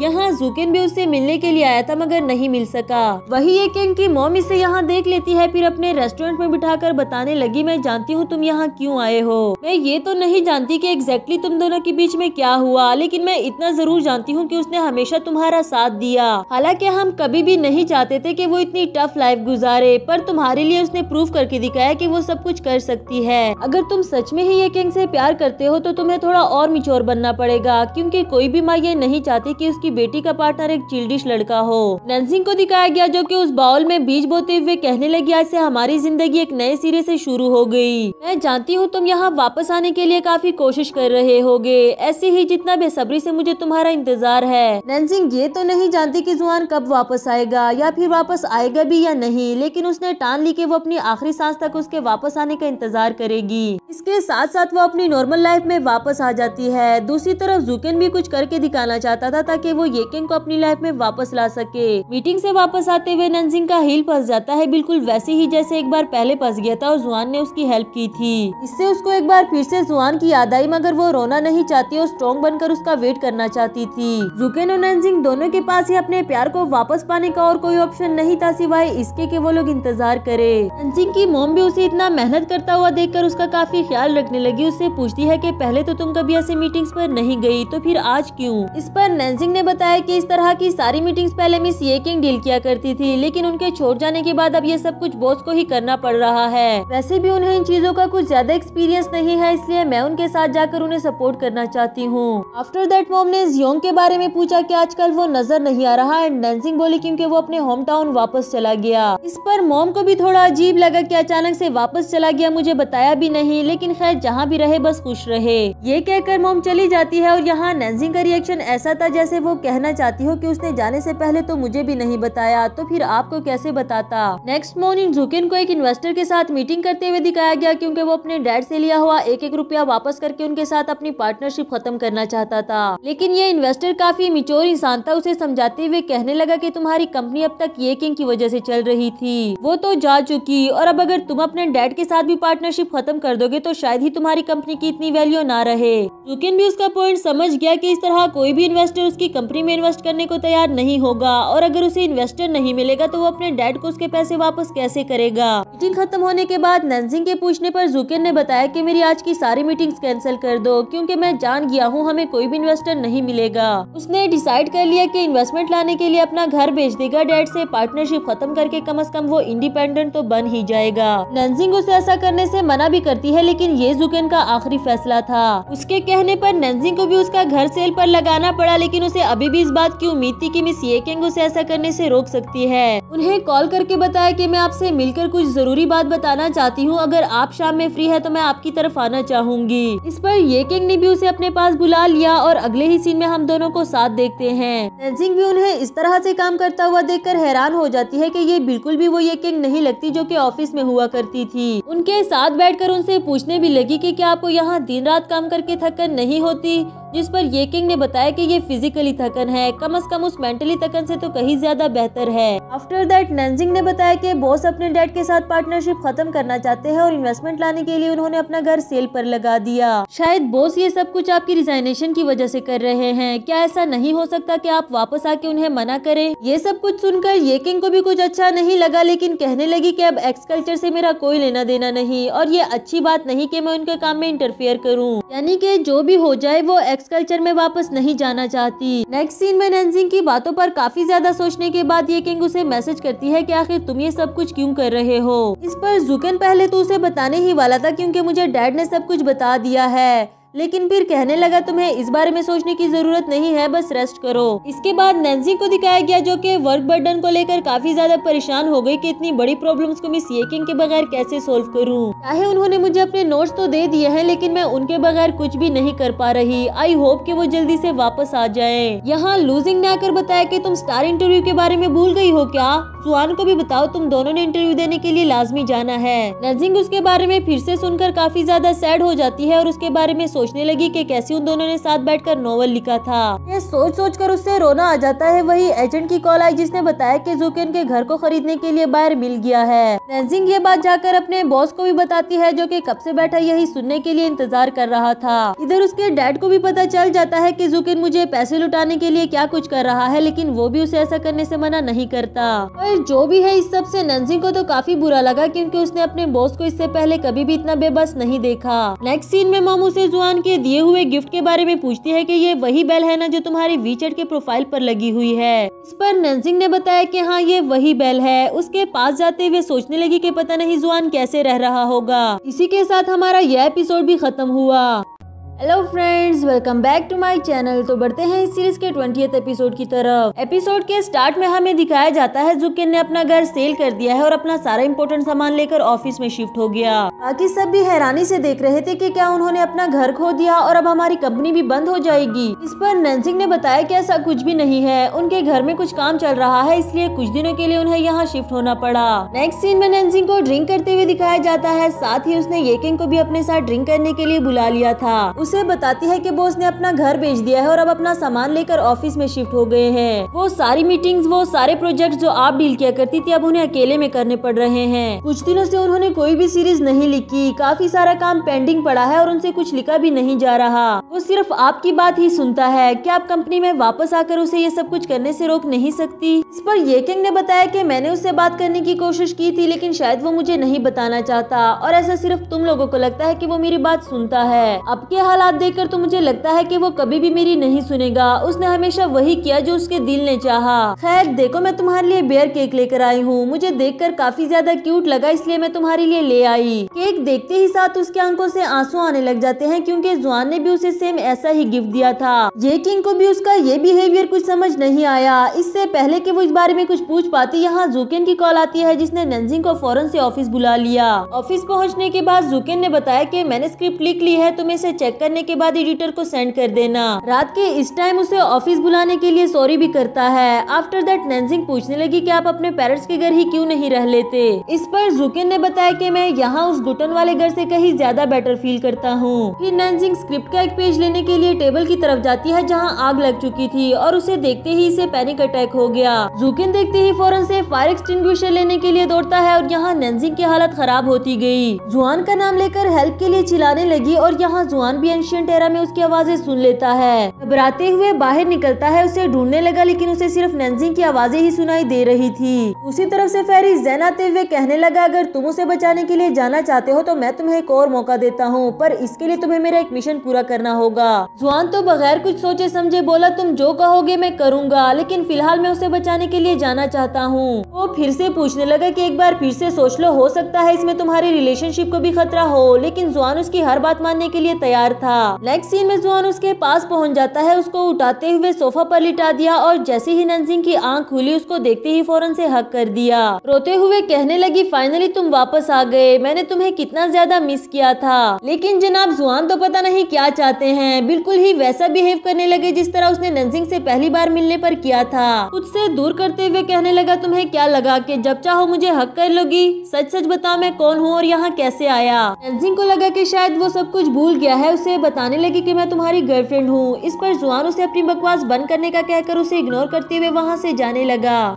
भी उसके पीछे दौड़ी, उससे पूछने लगी कि क्या तुम्हें मैं सच में याद नहीं? लेकिन जुआन ऐसा दिखा रहा था जैसे वो इस लड़की से आज पहली दफ़ा मिला हो। कहने लगा, मेरे साथ फ्लर्ट करना बंद करो और ना ही मेरे पीछे आना, वरना मैं तुम्हारी गर्दन काट दूँगा। ये कहकर जुआन वहाँ से जाने लगा और नैजिंग उसे पीछे से आवाज़ देते हुए कहने लगी कि, मैं सिर्फ़ तुम्हारा नाम ही नहीं जानती, कि तुम्हारे बारे में सब कुछ जानती हूँ। तुम हैवान पैलेस के यंग मास्टर और मेरे नॉवल का एक करेक्टर हो, जिसे मैंने खुद ही लिखा था और फेरिस जैन ने तुम्हें मेरा अनफॉरगेटेबल लव बनाकर यहाँ भेजा। तुम मेरे बेस्ट फ्रेंड हो, मेरे सबसे ज़्यादा करीब और और वो इंसान जिसे मैंने पहली बार अपनी फीलिंग्स कन्फेस की। तुम ही वो इंसान हो जिसे मैंने अपनी लाइफ में सबसे ज़्यादा मिस किया। जुआन भी उसकी फीलिंग्स को समझ रहा था, मगर फिर भी उसे इग्नोर करते हुए चला गया। इस बार भी जब नैनसिंग उसका पीछा करने लगी तो जुआन काफ़ी गुस्से से पेश आया और उसे अपने पीछे आने से मना कर दिया। ये कहते हुए कि मुझे तुम्हारी ये फजूल सी बातें समझ में नहीं आ रही और ना ही मैं इन्हें समझना चाहता हूँ। सीन शिफ्ट होकर ये किंग पर आता है, जो कि जुकिन के लिए डिनर लेकर आई थी और यहाँ ये वाली हालत देखकर तो उसके लिए और भी परेशान हो गई। उसे डिनर का कहकर खुद ये सब कुछ साफ़ करना चाहती थी, मगर जुके ने उसे इसके लिए मना कर दिया। उसे अपने घर में भी रहने के लिए कहा बिकॉज़ वो अब अपने पेरेंट्स के साथ रहने लगी है, पर जुकेन इसके लिए भी मना कर देता है। कहने लगा, मैं यहाँ इसलिए नहीं रह रहा कि मेरे पास रहने के लिए जगह नहीं, लेकिन मैं यहाँ रहकर अपना काम ज़्यादा अच्छे से कर पाता हूँ। कंपनी में सब कुछ अच्छा चल रहा है, तुम्हें फ़िक्र करने की ज़रूरत नहीं, बस घर बैठ कर रेस्ट करो इस पर येकेंग को लगा की शायद उसे मेरा यहाँ आना अच्छा नहीं लगा, फिर उसे अपना ख्याल रखने का कहकर वहाँ से चली गई। इधर नैन्जिंग ऑफ़िस के बाद घर आती है, लेकिन इससे पहले वो जुआन के घर जाकर उसे देखना चाहती थी। अनफॉर्चुनेटली वो यहाँ भी नहीं आया नैन्जिंग वही सैड होकर बैठ जाती है तो दूसरी तरफ़ हमें जुआन को ड्रिंक करते हुए दिखाया गया। पहले तो वो फेरी जेन की बातें सोचता है, फिर नैन्जिंग की सारी बातें, उसका रोना धोना जो शायद इससे भी बर्दाश्त नहीं हो रहा था। लेकिन जुआन ने ये सब कुछ इसलिए किया क्योंकि वो दोबारा यहाँ से जाने वाला था और एक बार फिर से नैन्जिंग को रुलाना नहीं चाहता। ये सब कुछ उसके लिए भी बर्दाश्त करना काफ़ी मुश्किल हो रहा था, लेकिन अगर वो नैन्जिंग को मजीद तकलीफ़ नहीं देना चाहता तो उससे दूर रहना ही बेहतर था। दूसरी तरफ़ नैन्जिंग उसके टेडी बियर को हक करते हुए पूछ रही थी कि आखिर उसे हो क्या गया है वो ऐसा बिहेव क्यों कर रहा है? तभी उसे एक आइडिया आया और वो बहुत अच्छे से समझ गई कि आगे उसे क्या करना है। जुआन अभी भी काफ़ी ज़्यादा सैड था। नंजिंग को देखने के लिए उसके घर तक आता है और उसके लाइट ऑन करने के बाद ही इसे सुकून मिला कि फाइनली वो सेफली घर पहुँच गई। उसे इस बात की उम्मीद थी कि जो हाल मेरा है, यकीनन वही नंजिंग का भी होगा, लेकिन यहाँ तो उसे कुछ और ही देखने को मिला। नंजिंग काफ़ी ज़्यादा खुश लग रही थी। उसे इतने अच्छे मूड में देखते हुए कहने लगा कि चाहे मैं भी यही चाहता हूँ कि तुम खुश रहो, लेकिन तुम मेरे बगैर इतना खुश कैसे रह सकती हो? इवन कि तुम्हें ये भी लगे कि मैंने अपनी मेमोरीज खो दी है, लेकिन मैं कभी न कभी तुम्हारा बॉयफ्रेंड तो रहा था ना? वही नंजिंग अंदर जाते ही इसे हेल्प के लिए बुलाने लगी और जुआन फ़ौरन से टेलीपोर्ट होकर पहुँच गया। बोसी मूड में कहने लगी, अब पता चला तुम्हें हम दोनों का रिलेशनशिप क्या है? अब से जो मैं कहूँगी तुम्हें वो सब कुछ करना पड़ेगा। पहले तो अपनी ये शर्ट उतार कर अंदर बात लेने के लिए जाओ। इतने लंबे कपड़े पहनकर तुम्हें गर्मी नहीं लग रही? जुआन अभी भी एक्टिंग करते हुए कहने लगा, तुम होती कौन हो? मुझे ऑर्डर देने वाली, मुझसे दूर रहो। नैन्सिंग बोली, कितनी बार बताया मैंने तुम्हें कि मैं तुम्हारी गर्लफ्रेंड हूँ। तुम्हें मेरी हर बात माननी होगी और अगर नहीं मानोगे तो तुम्हें हेडिक हो जाएगा। जुआन भी कोई कम जिद्दी थोड़ी ना है। उसके मना करने के बावजूद भी घर से बाहर जाने लगा और यहाँ नैन्जिंग स्टील उसे हेल्प के लिए कहती रही। अब वो चाह कर भी यहाँ से बाहर नहीं जा सकता क्योंकि उसे कंट्रोल करने की पावर तो नैन्जिंग के पास है। बेचारे ने अपनी तरफ़ से तो काफ़ी ज़्यादा कोशिश की, लेकिन एट लास्ट उसे नैन्जिंग की बात सुनकर बात लेने के लिए जाना ही पड़ा। अभी सोच ही रहा था कि इतना जल्दी इस लड़की में इतना कॉन्फिडेंस कहाँ से आ गया? वहीं नैजिंग उसके लिए कपड़े लाते हुए कहने लगी कि बात लेने के बाद इसे चेंज कर लेना। एंड वो तो ऐसे शर्मा रहा था जैसे नैजिंग ने आज उसे पहली दफ़ा देखा हो। आफ्टर दैट चेंज करने के बाद नैन्जिंग से कहने लगा कि तुम्हारे पास और कोई शर्ट नहीं है क्या? ये तो इतनी छोटी सी है। इस पर नैन्जिंग बोली, है तो बहुत सारी, लेकिन मेरे बॉयफ्रेंड की है। तुम्हें क्यूँ दू? तुम मेरे बॉयफ्रेंड हो क्या? जुआन गुस्से से उसे घूरता हुआ घर से बाहर जाने वाला था, लेकिन नैन्जिंग ने उसे रोककर अपने साथ आने के लिए कहा। अब अगर वो नहीं आएगा तो नैन्जिंग के पास उसे लाने की पावर भी तो है। बेचारे को ये सोचकर भी जाना पड़ा। उससे उसका रूम दिखाया, लेकिन जुआन कहने लगा, मैं यहाँ नहीं सो सकता, क्योंकि किसी लड़की के साथ सोना अच्छी बात नहीं। एंड नैन्जिंग बोली, मैं तुम्हें बॉयफ्रेंड की तरह ट्रीट नहीं कर रही हूँ। आज रात यही रुक जाओ, वैसे भी तुम्हारे पास रहने के लिए जगह तो नहीं है। इसके बावजूद भी वो घर से बाहर जाने लगा और हम देखते हैं कि जैसे ही उसने डोर ओपन किया, सामने जुकेन खड़ा था। बैग पैक करके अपना सामान भी ला चुका है। कहने लगा, मुझे नैन्जिंग ने ही यहाँ कुछ दिन रहने के लिए बोला था। जुकेन को यहाँ देखकर जुआन ने भी जाने का प्लान कैंसिल कर दिया। अब नाटक अपनी जगह, लेकिन गर्लफ्रेंड को किसी और लड़के के पास भी तो नहीं छोड़ सकता। हालाँकि अब नैन्जिंग भी उसे नहीं रोकती, जाने के लिए भी कह दिया, पर वो बोला, मेरे पास रहने के लिए जगह नहीं है तो आज रात यहीं रह लेता हूँ। और तो और जुकिन को अपने रूम में भी घुसने नहीं दे रहा था। इस पर नैन्जिंग उन्हें बाहर वेट करने का कहकर जुआन को अंदर ले जाती है उससे बात करने के लिए। उसे कहने लगी, चलो अब प्रिटेंड करना बंद करो, बहुत हो गया, तुम थके नहीं अभी तक।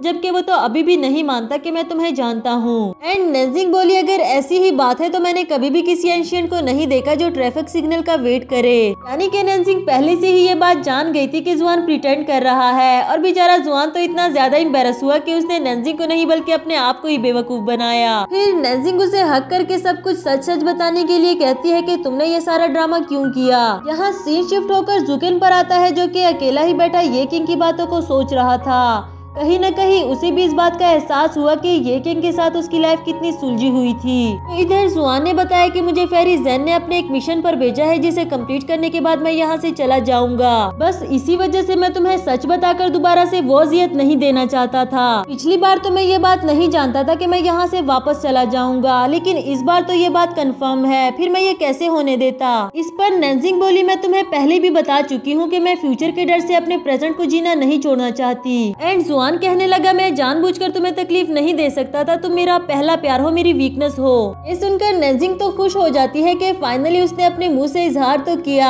एंड सुहान कहने लगा, ऐसा कुछ भी नहीं है, मैं तो बस तुम्हें खुश करने के लिए कह रहा था। बेचारा जुकिन जो की काफ़ी टाइम से बाहर बैठा वेट कर रहा था, अब तो डोर नोक करते हुए कहने लगा, अगर तुम दोनों की बातें खत्म हो गई हो तो कम अज कम मुझे सोने की जगह ही बता दो। सुहान तो उसे देखकर टोंट मारने लगा की ऐसे कौन किसी के घर में आकर सोता है? लेकिन नेजिंग उसे फ़ौरन से ले जाकर उसका रूम दिखाने लगी यहाँ भी इन दोनों की चोंची लड़ाना बंद नहीं होती, जिस पर नंसिंग उसे धीमी आवाज़ में कहने लगी कि वो होटल में नहीं रह सकता, क्योंकि वो अफोर्ड नहीं कर सकता है। किसी भी तरह करके उसे जुकिन के रूम से बाहर ले आती है, फिर उसको अपना ख्याल रखने का कहकर और गुड नाइट कहते हुए घर जाने लगी। जबकि जुआन वही खड़े उसे घूर रहा था, ये कहते हुए कि इतने टाइम से तुम्हें नहीं देखा, अब इतना देखना तो बनता ही है। उसकी ये बात सुनकर नंजिंग फ़ौरन से उसके पास जाकर उसे किस कर देती है। नेक्स्ट सीन में नंजिंग ने देखा कि जुआन उसके बेड के पास ही लेटा हुआ है उससे पूछने लगी कि तुम यहाँ कैसे आए? एंड जुआन ने बताया, मैं विंडो से आया हूँ और ये कोई फ़र्स्ट टाइम नहीं, इससे पहले भी मैं कई बार आ चुका हूँ। वहाँ जुकिन इतने बड़े बड़े खराटे ले रहा है, मुझे नींद नहीं आ रही थी, इसलिए तुम्हारे पास आ गया। नंजिंग उसे मना भी करती है की तुम्हारी तबीयत खराब हो जाएगी गुड बॉय की तरह अपने रूम में वापस चले जाओ। लेकिन वो कहता है, आज रात मुझे यही रह लेने दो, सुबह तुम्हारी मोम के आने से पहले ही मैं अपने रूम में वापस चला जाऊँगा। एंड नंजिंग भी उस पर अपना ब्लंकेट ओढ़कर सोने के लिए दे देती है, इसी के साथ हमारा ये एपिसोड भी खत्म हुआ। Hello friends welcome back to my channel तो बढ़ते हैं सीरीज़ के ट्वेंटी फ़र्स्ट एपिसोड की तरफ़। एपिसोड के स्टार्ट में हमें नैन्सी को दिखाया जाता है जो कि ब्लैंकेट में रोल्ड अप हुई थी और उसे खुद भी नहीं पता कि कैसे हो गई। वही जाते जाते जुआन ने उसके लिए एक नोट रखा है जिस पर लिखा हुआ था, सोते हुए ब्लैंकेट को किक करना अच्छी बात नहीं। इससे नैन्सिंग समझ गई की एक बार पहले भी वो ऐसे ब्लैंकेट में रोल्ड अप हो चुकी थी, वो भी इसी बदमाश नहीं किया था। इसके बाद जाती है जुआन के पास, जिसने जुकेन के लिए काफ़ी सारा ब्रेकफास्ट रेडी कर रखा था बिकॉज़ सुबह उसे वीकनेस हो रही थी। अब चाहे जुआन उसे पसंद नहीं करता, लेकिन इतना भी बुरा नहीं कि उसका थोड़ा सा ख्याल भी ना रख सके। नैन्जिंग ने भी उसे इसके लिए अप्रिशिएट किया। आफ्टर दैट पूछने लगी कि मैं इस वीकेंड अपने डैड की कब्र को विज़िट करने वाली हूँ, क्या तुम मेरे साथ चलोगे? वो भी बड़े प्यार से हाँ कहता है, उसे अपने साथ ब्रेकफास्ट करने के लिए कहा। तो इधर जुकिन इन्हें घूर घूर कर देखते हुए पूछने लगा की क्या तुम दोनों हमेशा ही इस तरह रहते हो? जुआन ने उसे ये बताकर तो शौक ही कर दिया की नैन्सिंग मेरी गर्लफ्रेंड है। बेचारा सोचने लगा कि मेरे जूनियर्स रिलेशनशिप में आ गए हैं और एक मैं हूँ जो ये किंग को ही नहीं मना पा रहा। नेक्स्ट सीन में ऑफ़िस का सीन दिखाया जाता है जहाँ मीटिंग के दौरान इस बात को डिस्कस किया जा रहा था कि आज सभी विनर्स के नॉवेल्स ऑनलाइन पब्लिक किए जाएँगे। फिर मीटिंग के बाद जुकिन को काफ़ी सारे प्रोजेक्ट डील करने थे जो की इससे पहले मिस ये किंग किया करती थी। वो भी देख हैरान था की इतने कॉम्प्लिकेटेड प्रोजेक्ट वो कैसे डील करती रही। यहाँ नैन्जिंग ने बताया की वो अपना हर प्रोजेक्ट टाइम पर फिनिश कर लेती थी, यहाँ तक की अगले हफ़्ते का काम भी एडवांस में ही कर लेती थी। अब तो जुकिन को सच में लगा कि शायद मैं वाकई ही इमिच्योर हूँ। अगली सीन में ये किंग से मिलने के लिए जाता है, उसे अपने साथ स्केटिंग करने के लिए ले आया, बताता है कि मुझे माफ़ कर दो, मैंने तुमसे वादा किया था कि तुम्हारी हर बर्थडे पर तुम्हें यहाँ लेकर आऊँगा। लेकिन अपना वादा पूरा नहीं कर सका। ऊपर से तुम भी इतना बिज़ी रहती थी, इतने सारे प्रोजेक्ट्स अकेले ही कैसे डील करती रही? यानी कि कुछ दिनों में ही उसे इस बात का एहसास हो गया था कि ये किंग ने उसके लिए कितना कुछ सहा। इसके बाद बताने लगा कि तुमने मेरे डैड के बारे में पूछा था ना? मैं ये सब कुछ करके अब फाइनली इंडिपेंडेंट होना चाहता हूँ। एक जिम्मेदार इंसान जो अपना बोझ दूसरों पर ना डाले। इधर ये किंग को भी उसकी बातें सुनकर उस पर काफ़ी प्यार आ रहा था क्योंकि वो हमेशा उसे एक रिस्पॉन्सिबल पर्सन ही तो बनाना चाहती थी। फिर दोनों ही मिलकर स्केटिंग करने लगे। ये किंग को अच्छे से स्केटिंग करने तो नहीं आती, लेकिन जूकेन स्केटिंग का मास्टर है। उसे संभालते हुए अच्छे से सिखाता है, काफ़ी मस्ती मज़ाक करते हुए इंजॉय करने लगे। इधर नंजिंग मोम और जुआन के साथ जियाजुन और डैड की कबर पर उनसे मिलने के लिए आई है। तीनों के सामने बताती है की मैं आप लोगों को अपने बॉयफ्रेंड से इंट्रोड्यूस करवाना चाहती थी। फाइनली उसकी मॉम भी अब जान गई है। मजीद बताया कि मेरा नॉवल स्टार प्रोग्राम के लिए शॉर्टलिस्ट हो गया है, जो मैंने अपने बॉयफ्रेंड के साथ मिलकर लिखा था। हूँ ना मैं कमाल की। इधर मॉम बोली, और नहीं तो क्या? देखा जियाजुन नैनजिंग तुमसे भी ज़्यादा अच्छी राइटर निकली। आफ्टर दैट जुआन को कहीं न कहीं जियाजुन अपनी तरह लगा, क्योंकि उसे भी ऑरेंजेस नहीं पसंद थे। उसके लिए एप्पल जूस लाया था और उसे फ्रेंडशिप करने के लिए कहता है। इसके बाद वापस आते हुए मम जुआन से पूछने लगी कि तुम्हारा फ्यूचर के लिए क्या प्लान है? जब जुआन ने बताया कि अभी तक उसने इस बारे में कुछ नहीं सोचा तो मम काफ़ी ज़्यादा डिसअपॉइंट हो गई, क्योंकि जैसा भी है, वो एक माँ है और अपनी बेटी का अच्छा फ्यूचर चाहती थी। घर आकर भी उन्होंने ऐसे ही मुँह लटकाया हुआ था, जिस पर नैनजिंग वजह पूछने लगी और वो बताती है की योंग अच्छा लड़का है और मैं तुम दोनों के लिए खुश भी बहुत हूँ। लेकिन वापस आते हुए जब मैंने उससे फ्यूचर प्लान के बारे में पूछा तो उसने बताया की उसने अभी तक ऐसा कुछ नहीं सोचा। ये सुनकर नैनसिंग उनसे रिक्वेस्ट करने लगी कि प्लीज़ दोबारा से इस तरह का कोई भी क्वेश्चन जुआन से मत करना, क्योंकि कुछ बातें ऐसी है जो मैं आपको नहीं बता सकती। और अगर मैं आपको बता भी दूँ, तब भी आपको यकीन नहीं होगा। बट मॉम तो मॉम टहरी इस बात को लेकर उसे गुस्सा हो जाती है, कहने लगी हाँ तुम मुझे क्यों बताने लगी? मैं तुम्हारी बायोलॉजिकल मदर थोड़ी ना हूँ। ना उसने कुछ सोचा है, ना तुम्हें कुछ पता है कि फ्यूचर में क्या करना है तो फिर तुम दोनों का क्या बनेगा? नैनसिंग चाह कर भी उन्हें अपनी बात नहीं समझा सकती थी और मोम नाराज़ होकर वहाँ से चली गई। दूसरी तरफ़ जुआन को दिखाया गया जो की सोते हुए ख्वाब में जियाजुन को देख रहा था। वो देखता है की जियाजुन भी दिल ही दिल में नैनसिंग को पसंद करता था। उसके बारे में लिखता रहता था, लेकिन जब नैनसिंग उसके सामने आती थी तो वो ऐसी बिहेव करता जैसे से वो उसे बिल्कुल भी पसंद नहीं करता। नैनसिंग उसके पास अपने मैथ्स क्वेश्चन लेकर आई थी और जियाजुन उसे भगा देता है। शायद उसे इस बात का डर था कि कहीं वो जाने अनजाने में उसे अपनी फीलिंग्स ही ना बता दे।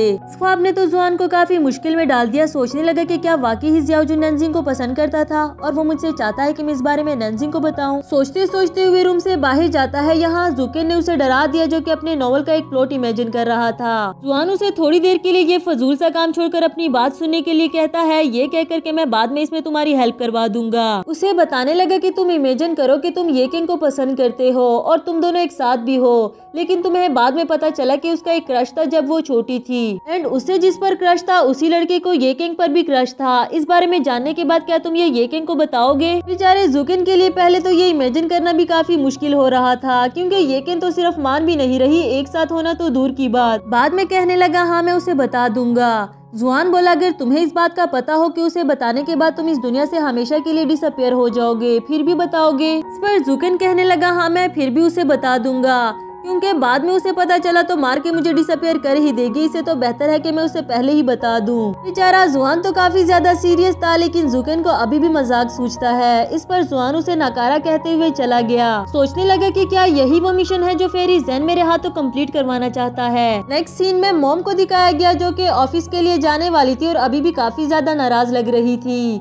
इवन के बाहर जुआन से मिलकर भी कुछ अच्छे से बात नहीं की। फिर जुआन नैनजिंग से मिलने के लिए जाता है और उसे लगा कि शायद मोम वापस आ गई है, उनका कुछ ना कुछ तो घर में रह गया होगा। डोर ओपन करने पर पता चला कि ये तो मिस्टर जुआन खड़े हैं जो उसके लिए ब्रेकफास्ट लेकर आया था। ब्रेकफास्ट करते हुए बातों बातों में जुआन ने बताया की कल तुम्हारी मोम ने मुझसे फ्यूचर प्लान के बारे में पूछा था। लेकिन मेरा जवाब सुनकर वो डिसअपॉइंट हो गई और मुझे भी बिल्कुल अच्छा नहीं लगा।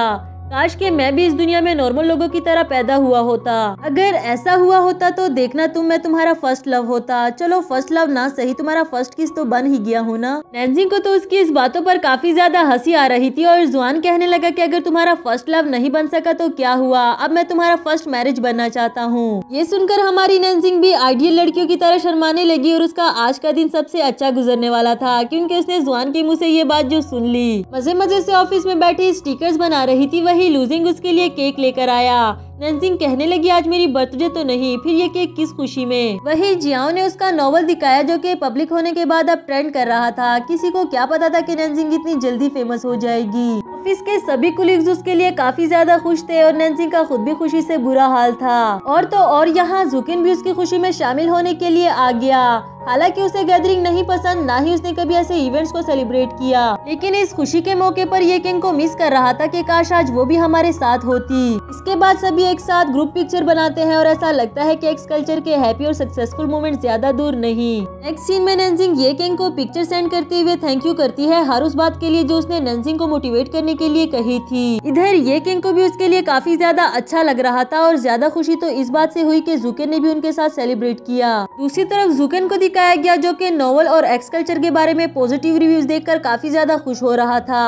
ही ये किंग का मैसेज आता है जो कह रही थी, मैं तुम्हारे लिए बहुत खुश हूँ, क्योंकि तुमने जो रास्ता चूज़ किया था, आज भी उस पर गिव अप नहीं किया। इसके साथ ही हमें फ्लैशबैक से दिखाया जाता है कि जब जुकिन को पहली बार राइटिंग के लिए ट्रॉफी मिली थी तो उससे कहीं ज़्यादा उसके लिए ये किंग खुश थी। उसे बताती है कि अगर मैं राइटर नहीं बन सकी तो क्या हुआ? तुम हो ना? एक दिन तुम बहुत बड़े अवतर बन जाओगे, फिर मैं तुम्हारे साथ ही जॉब करूँगी। जुकिन खामोशी से खड़ा उसकी एक्साइटमेंट देख रहा था, फिर कहने लगा कि मैंने डिसाइड कर लिया है, मैं अपनी एक अलग से कंपनी बनाऊँगा। के बाद उसे वही पड़ा किंग कॉन्ग निकाल कर देने लगा, जो कि ये किंग को काफ़ी ज़्यादा पसंद आया था। और उसने आज भी अपने पास संभाल कर रखा है। वैसे ये दोनों ही एक दूसरे के साथ काफ़ी ज़्यादा संसियर है, लेकिन दोनों में से कोई भी बताने की हिम्मत नहीं कर पा रहा। नेक्स्ट सीन में जुआन को दिखाया गया, जो कि नोवल को ट्रेंडिंग करता हुआ देखकर वो भी काफ़ी ज़्यादा खुश हो गया। नंजिंग को मैसेज करके अपने साथ डिनर करने के लिए बोला। उसे सच में ही इस बात की कोई उम्मीद नहीं थी कि उसके नोवेल को इतना ज़्यादा पसंद किया जाएगा। वो तो बस ये सब कुछ लिखकर सिर्फ़ नंजिंग को अपनी फीलिंग्स बताना चाहता था। अगले सीन में हम नंजिंग को डिनर पर आता हुआ देखते हैं, जबकि जुआन अभी भी वहाँ नहीं आया था। ये देखकर नंजिंग उसे कॉल मिलाने लगी। यहाँ टेबल के नीचे से उसे फ़ोन रिंग करने की आवाज़ आई, वही जुआ निकलते हुए उसे अजीबो गरीब तरीके से विश करने लगा। इतना ज़्यादा एक्साइटेड हो गया था कि नंजिंग को उसे खामोश कराने के लिए कहना पड़ा, अगर तुम चुप नहीं हुए तो मैं तुमसे ब्रेकअप कर लूँगी। अब जुआन को भी उसकी बात माननी पड़ी। उसके पास बैठते हुए उसे लोगों के कमेंट सुनाने लगा की लोगों ने उसके कैरेक्टर को कितना ज़्यादा पसंद किया। नंजिंग ने भी उसको थैंक यू किया कि अगर तुम ना होते तो मैं ये नॉवल कभी भी नहीं लिख पाती। मैं लकी हूँ की मुझे तुम मिले। मिले आफ्टर दैट वॉशरूम जाते हुए उसने आग देख ली और एक बार फिर से उसे पैनिक अटैक होने लगा। वही इंसिडेंट रिकॉल करती है जिसमें जियाजुन और उसके डैड की जान चली गई थी। जुआन उसे देखकर फ़ौरन से उसके पास जाता है, उसको हक करता है और संभालते हुए यहाँ से ले गया। अब जुआन भी उसके लिए काफ़ी ज़्यादा परेशान हो जाता है कि पहले तो उसे ये पैनिक अटैक इतनी जल्दी नहीं आता था जितना अब आ रहा है। कहीं ये सब कुछ मेरे वापस जाने की वजह से तो नहीं हुआ। दिल ही दिल में खुद से प्रॉमिस कर लेता है कि मैं नंजिंग की ये वाली इलनेस दूर कर दूँगा। इसी के साथ हमारा ये वाला एपिसोड भी खत्म हुआ। Hello friends welcome back to my channel तो बढ़ते हैं इस सीरीज़ के ट्वेंटी सेकेंड एपिसोड की तरफ़। एपिसोड के स्टार्ट में हमें इन दोनों को वापस आते हुए दिखाया जाता है, जहाँ नंसिंग उससे पूछने लगी, तुम इतने अपसेट क्यों लग रहे हो? अगर इसकी वजह मेरी मोम है तो फ़िक्र नहीं करो, वो तुम्हें मुझसे मिलने से नहीं रोकेंगी। लेकिन जुआन बोला की मैं जियाजुन के बारे में सोच रहा हूँ की तुम उसे किस हद तक पसंद करती थी। क्योंकि उसे गुजरे हुए कितने साल हो गए, लेकिन तुम आज भी मूव ऑन नहीं कर पाई। इस पर नैन्जिंग को तो वो जलस लगा, और हाँ थोड़ा बहुत जलस तो वो ज़रूर था। कहने लगी, मैं उसे पसंद करती थी, लेकिन तुमसे ज़्यादा नहीं। तुम्हें याद है, मैंने तुम्हें बताया था कि हम दोनों बचपन में बहुत ज़्यादा क्लोज थे, एक साथ ही पले बड़े। लेकिन वो सब कुछ सिर्फ़ बचपन में ही था। जब हम दोनों बड़े हुए तो अचानक से उसने मुझसे बात करना छोड़ दिया, मुझे नोटिस करना छोड़ दिया। मुझसे चीज़ें छुपाने लगा, उसके माइंड में क्या चल रहा है, मुझे कभी भी नहीं बताता था। मैं जब भी उसके पास जाती, वो मुझे डांट कर भगा देता। पहले तो हम स्कूल भी एक साथ जाया करते थे, लेकिन फिर उसने मेरे साथ जाने से भी मना कर दिया। यहाँ तक कि मुझे स्कूल में भी खुद से दूर रहने के लिए कह दिया। मुझे लगा कि शायद मुझे उससे अपनी फीलिंग्स बता देनी चाहिए, तभी जाकर वो मुझसे बात करना स्टार्ट कर दे। और जब मैं उसके पास अपनी फीलिंग्स बताने के लिए गई तो उसने मुझे फिर से डांट दिया कि तुम हर वक्त मेरा पीछा क्यों करती रहती हो? मुझे घर अकेला जाने के लिए कह दिया और ऐसे में कभी भी उसे अपनी फीलिंग्स के बारे में नहीं बता सकी। लेकिन आंटी मेरी फीलिंग्स के बारे में बहुत अच्छे से जानती थी, उन्होंने कई बार मुझे जियाजुन के पास लाने की अपॉर्चुनिटीज़ भी बनाई। जब डैड की लेबोरेटरी में नाइट शिफ्ट होती तो मुझे उनके साथ जाना पड़ता, वही रात गुजारनी पड़ती थी। उन्होंने कई बार मेरे डैड को इंसिस्ट किया कि मैं उनके घर रह लूँ। लेकिन डैड मेरी वजह से किसी और को परेशान नहीं करना चाहते थे। इस पर आंटी ने कहा तो ठीक है, मैं तुम लोगों के लिए जियाजुन के हाथों डिनर भिजवा दूँगी। और वही वो दिन था जिस दिन लेबोरेटरी में आग लगी। जियाजुन नंजिंग को देखते ही उसे काफ़ी मुश्किल से उठाते हुए बाहर ले आया, लेकिन उसका डैड अभी भी अंदर था। फिर उसे परेशान होने से मना करते हुए कहने लगा, यही बैठकर मेरा इंतज़ार करो, मैं अंकल को ले आऊँगा। आफ्टर दैट वो अंदर जाता है नंजिंग के डैड को ढूँढने के लिए, लेकिन आग काफ़ी ज़्यादा थी। फिर जैसे ही अंकल को देखा, उसे अपने बैग पर उठाते हुए लाने लगा और काफ़ी हद तक तो उसे बाहर लाने में कामयाब भी हो गया था। लेकिन लास्ट मोमेंट पर एक बड़ा सा फायर एक्सप्लोड होता है और इसी में दोनों की जान चली गई। नंसिंग रोते हुए, चिल्लाते हुए इन दोनों को आवाज़ें लगाने लगी। उन दोनों में से तो किसी की जान नहीं बची, लेकिन नंजिंग को पैनिक डिसऑर्डर ज़रूर हो गया। जुआन को बताती है कि वो बहुत अच्छा था, बहुत स्मार्ट और बहुत टैलेंटेड मेरी तरह नहीं, जो कि कोई भी काम ढंग से नहीं कर सकती। अगर आज वो ज़िंदा होता तो यकीनन मेरे बॉस से भी ज़्यादा अच्छा राइटर होता। मुझे दुख होता है कि उसकी जान मेरी वजह से गई। एक ऐसे इंसान की वजह से जिसे उसने कभी भी पसंद नहीं किया। इस पर जुआन उसे संभालते हुए कहने लगा कि उसने कभी भी तुम्हें डिसलाइक नहीं किया। उसने हमेशा तुम्हें पसंद किया। मैं जब से हैवान पैलेस से वापस आया हूँ, वो कई बार मेरे ख्वाब में आ चुका है। इसी से ही मुझे पता चला की वो तुम्हें पसंद करता था। जबकि नैन्जिंग को लगा की जुआन उसके बारे में परेशान हो रहा है, इसलिए ऐसी बात की, क्यूँकी उसने तो जियाजुन को कभी रियल में देखा भी नहीं। उसे अपने बारे में परेशान होने से मना करते हुए साथ घर ले जाने लगी। नेक्स्ट सीन में जुआन अकेला बैठा हुआ नैनसिंग के बारे में सोच रहा था जब उसने बताया था कि डॉक्टर्स मेरे डिसऑर्डर को ठीक नहीं कर पा रहे। बिकॉज़ डॉक्टर्स का कहना है मेरा डिसऑर्डर वही लोग ठीक कर सकते हैं जिसकी वजह से ये हुआ था। और जब वो दोनों रहे ही नहीं तो फिर मेरा डिसऑर्डर कैसे ठीक हो? साथ ही उसे फेरी जैन की मिशन कंप्लीट करने वाली बात याद आई। अब फाइनली उसे पता चल गया कि उसका मिशन नंजिंग के पैनिक डिसऑर्डर को हील करना है। एक बार फिर से जुकिन को इमेजिन करने के लिए कह दिया कि अगर नॉवल का मेन लीड अपनी गर्लफ्रेंड के दिल का डर खत्म करना चाहता है, पर इसके साथ ही वो हमेशा के लिए डिसअपेयर हो जाएगा।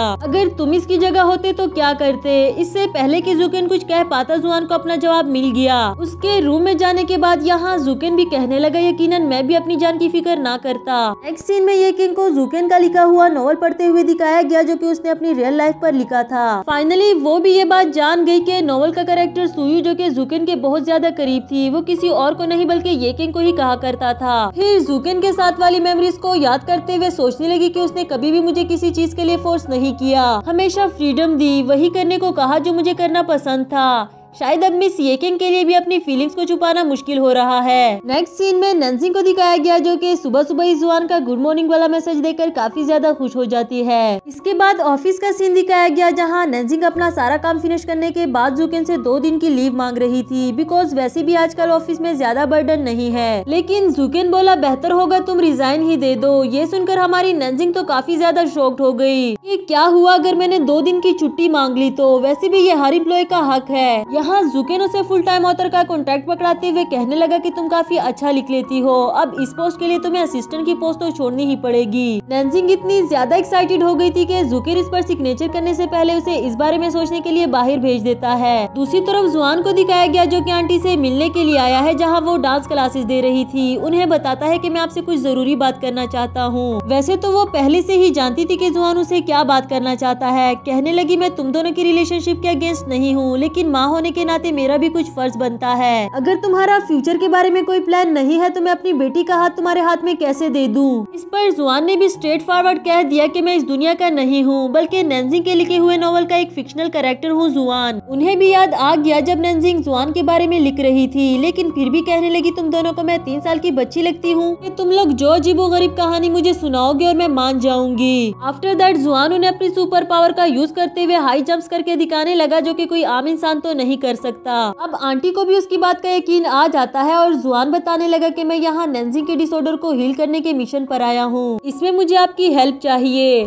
उन्होंने बताया कि डॉक्टर के अकॉर्डिंग ये डिसऑर्डर वही ठीक कर सकता है जिनकी वजह से ये हुआ था। उसके डैड और जियाजुन तो रहे नहीं, फिर कैसे ठीक होगा? इस पर जुआन बोला कि ये डिसऑर्डर उन दोनों की वजह से नहीं, बल्कि नैन्जिंग की वजह से है। अगर हम उसका डर खत्म कर दे तो हमेशा के लिए उसकी जान इस पैनिक डिसऑर्डर से छूट जाएगी। सीन शिफ्ट होकर नैन्जिंग पर आता है, जिसकी रिजाइनेशन एक्सेप्ट हो गई। वो अब असिस्टेंट नहीं रही, बल्कि एक ऑथर बन गई। पर जब तक एक नई असिस्टेंट नहीं मिल जाती, जुकिन ने उसे असिस्टेंट का काम भी संभालने के लिए कहा। इसके बाद ऑफ़िस से ऑफ़ होने पर जुआन उसे पहले से ही लेने के लिए खड़ा हुआ था और नैन्जिंग उसे देखते ही फ़ौरन से जाकर हक कर देती है। कहने लगी, मैंने बताया तो था कि मुझे मिस येकिंग के साथ डिनर करने के लिए जाना है तो फिर लेने के लिए क्यों आए? जुआन बोला, इसीलिए तो आया था। मेरी गर्लफ्रेंड फुल टाइम ऑथर बन गई है और मैं चाहता था कि वो ये वाली खुशखबरी सबसे पहले मुझे सुनाए। चलो अच्छा हुआ तुम्हें तुम्हारे लाइक पोस्ट मिल गई। वैसे भी तुम किसी और की असिस्टेंट नहीं हो सकती सिवाय मेरे। नैन्जिंग भी इस बात से हैप्पी थी, लेकिन अब पोस्ट बड़ी हो गई है तो यकीनन बर्डन भी बढ़ जाएगा।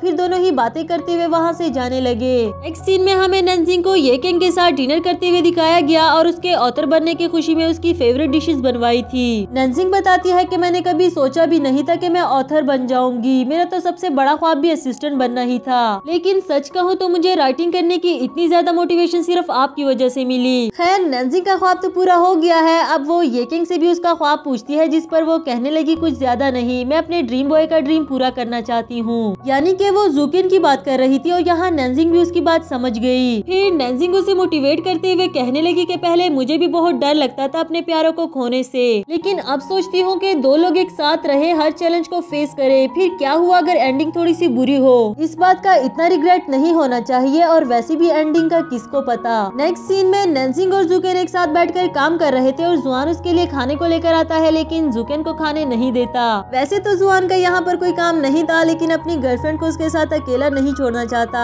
इसलिए पीछे ही बैठकर उस पर नज़र रखने लगा।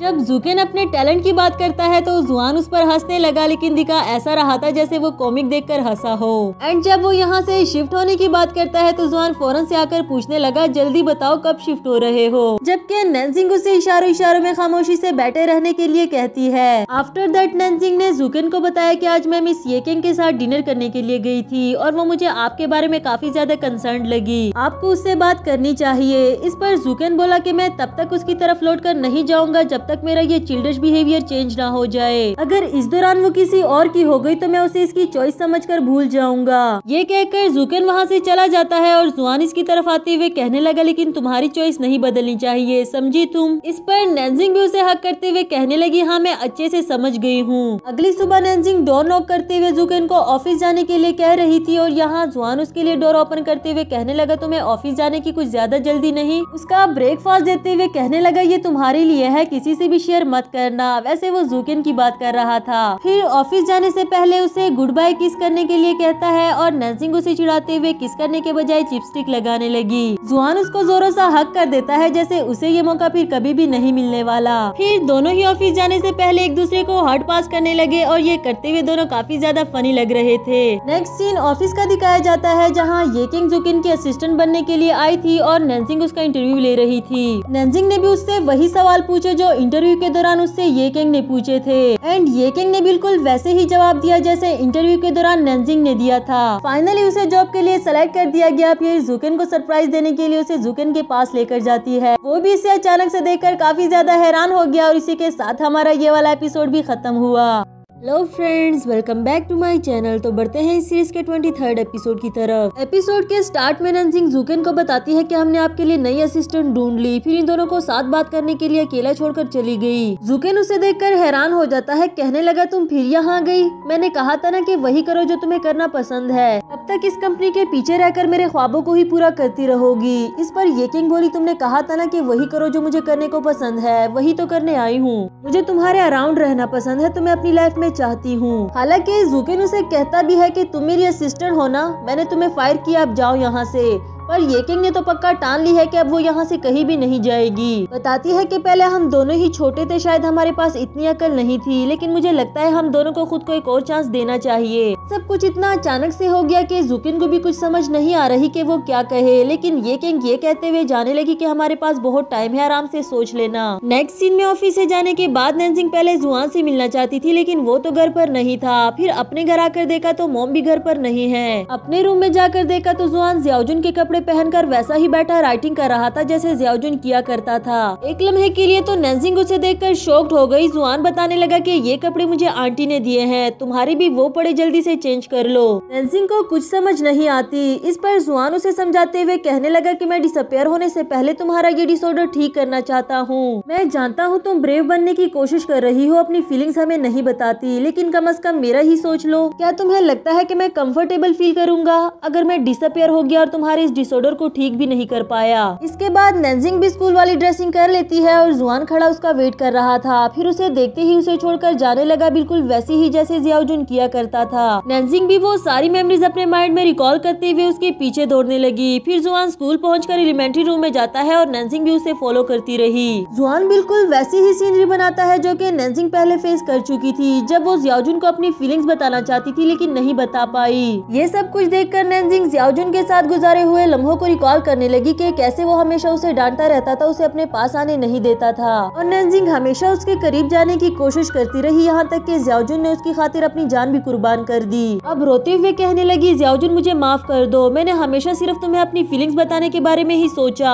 अच्छा होता कि मुझे कभी भी तुमसे प्यार ना हुआ होता। अगर मैंने तुम्हें उस दिन अपनी हेल्प के लिए ना बोला होता तो आज तुम ज़िंदा होते और तुम्हारी जगह मैं मर चुकी होती। इस पर जुआन उसके पास आकर उसे हक करता है, उसे संभालते हुए कहने लगा, पागल लड़की कि अगर तुम मर जाती तो तुम्हें पता है वो कितना ज़्यादा अपसेट होता। क्योंकि वो भी तुम्हें पसंद करता था और बहुत ज़्यादा करता था, अपने बचपन से लेकर हमेशा। जिस तरह तुम्हें डर लगता था, उसको अपनी फीलिंग्स बताने से इस तरह वो भी हमेशा डरता रहा और तुम्हें अपनी फीलिंग्स के बारे में नहीं बता सका। मेरे ख्वाब में आकर उसने मुझे अपनी फीलिंग्स बताई। वो तुम्हारे लिए अपनी जान क्यों देता अगर वो तुमसे प्यार ना करता तो? उसने तुम्हारी खातिर अपनी जान कुर्बान की क्योंकि ये उसकी चॉइस थी और जो कुछ अब मैंने किया वो मेरी चॉइस है। आफ्टर दैट जुआन अपने हाथ में फायर लेकर उसके पास आता है और हम देखते हैं कि ना तो नंजिंग को आग से डर लगा और ना ही उसे पैनिक अटैक हुआ। ये देखकर नंजिंग भी काफ़ी ज़्यादा खुश हो गई, उसको थैंक यू बोला, जिस पर जुआन उसे किस करने लगा। क्योंकि अब जुआन का मिशन कंप्लीट हो गया है और फेरी जैन के अकॉर्डिंग उसे यहाँ से हमेशा के लिए डिसअपेयर हो जाना था। हम देखते हैं कि बिल्कुल वैसा ही हुआ, जुआन वहाँ से गायब हो जाता है और शायद इस बार नंजिंग भी उसे खो देने के लिए प्रिपेयर थी। दूसरी तरफ़ हमें जुआन को दिखाया गया जो की अपने नोवल वर्ल्ड में वापस आ गया है, वही फेरी जैन उसके पास आता हुआ इस बैड एंडिंग के लिए सॉरी करता है। अब टाइम आ चुका था कि उसके करेक्टर को हमेशा के लिए खत्म कर दिया जाए। जुआन कहने लगा कि मैंने अपनी सारी ज़िंदगी कभी भी किसी से भीख नहीं मांगी, लेकिन डिसअपेयर होने से पहले मैं एक रिक्वेस्ट करना चाहता हूँ। फेरी जैन बोला, अगर मैं तुम्हारी रिक्वेस्ट को फुलफिल करने के काबिल हुआ तो ज़रूर करूँगा।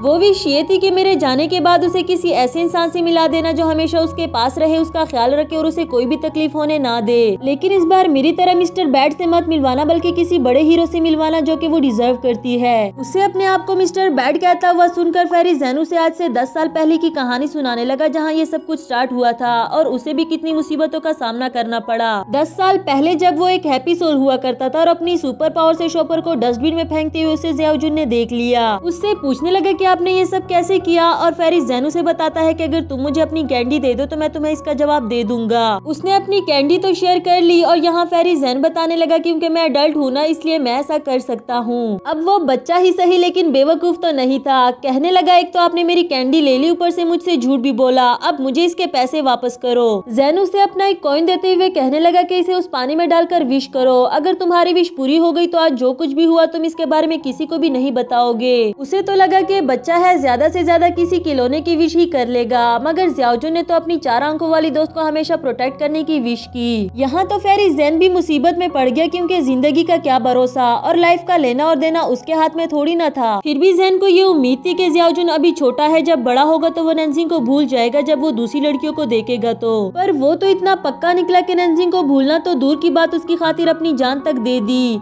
वो तो चला गया, लेकिन मुझे हमेशा के लिए मुसीबत में डाल दिया। पहले तो मैं जानता भी नहीं था कि वो चार अंकों वाली लड़की कौन है, लेकिन फिर उसके पास वो कॉइन देखने के बाद जो मैंने जियाजुन को दिया था, उसी से ही पहचाना। इतने सालों में वहाँ बैठकर वेट करता रहा कि वो कोई विश करे और मैं उसे हैप्पी करने के लिए उसको पूरा कर दूँ। लेकिन उसने कभी भी कोई विश नहीं की, और एट लास्ट जब उसने अनफॉर्गेटेबल लव की विश की तो मुझे उसे पूरा ही करना पड़ा। जुआन हैरानी से पूछने लगा, लेकिन मैं ही क्यूँ? आपने उसके लिए मुझे ही क्यूँ चूज़ किया? इस पर फेरिस जैन ने उसे जियाजुन की डायरी दी जिसमें उसने जुआन का कैरेक्टर क्रिएट किया था, उसे सुपर पावर्स दी। यानी की जियाजुन ही वो इंसान था जिसने जुआन का करेक्टर पहले बनाया और वो नंजिंग के नॉवल का करेक्टर नहीं था। बचपन से ही वो नंजिंग को पसंद किया करता था, इसलिए उसने द बिग हीरो जुआन को क्रिएट किया ताकि वो हमेशा उसकी चार अंकों वाली दोस्त को प्रोटेक्ट करे। उसके इस दुनिया से जाने के बाद उसकी सारी थिंकिंग और इमोशंस तुम में आ गए। तुमने वही किया जो वो हमेशा करना चाहता था। खैर मैनी मैनी कॉन्ग्रेचुलेशन तुमने अपना आखिरी टेस्ट भी पास कर लिया।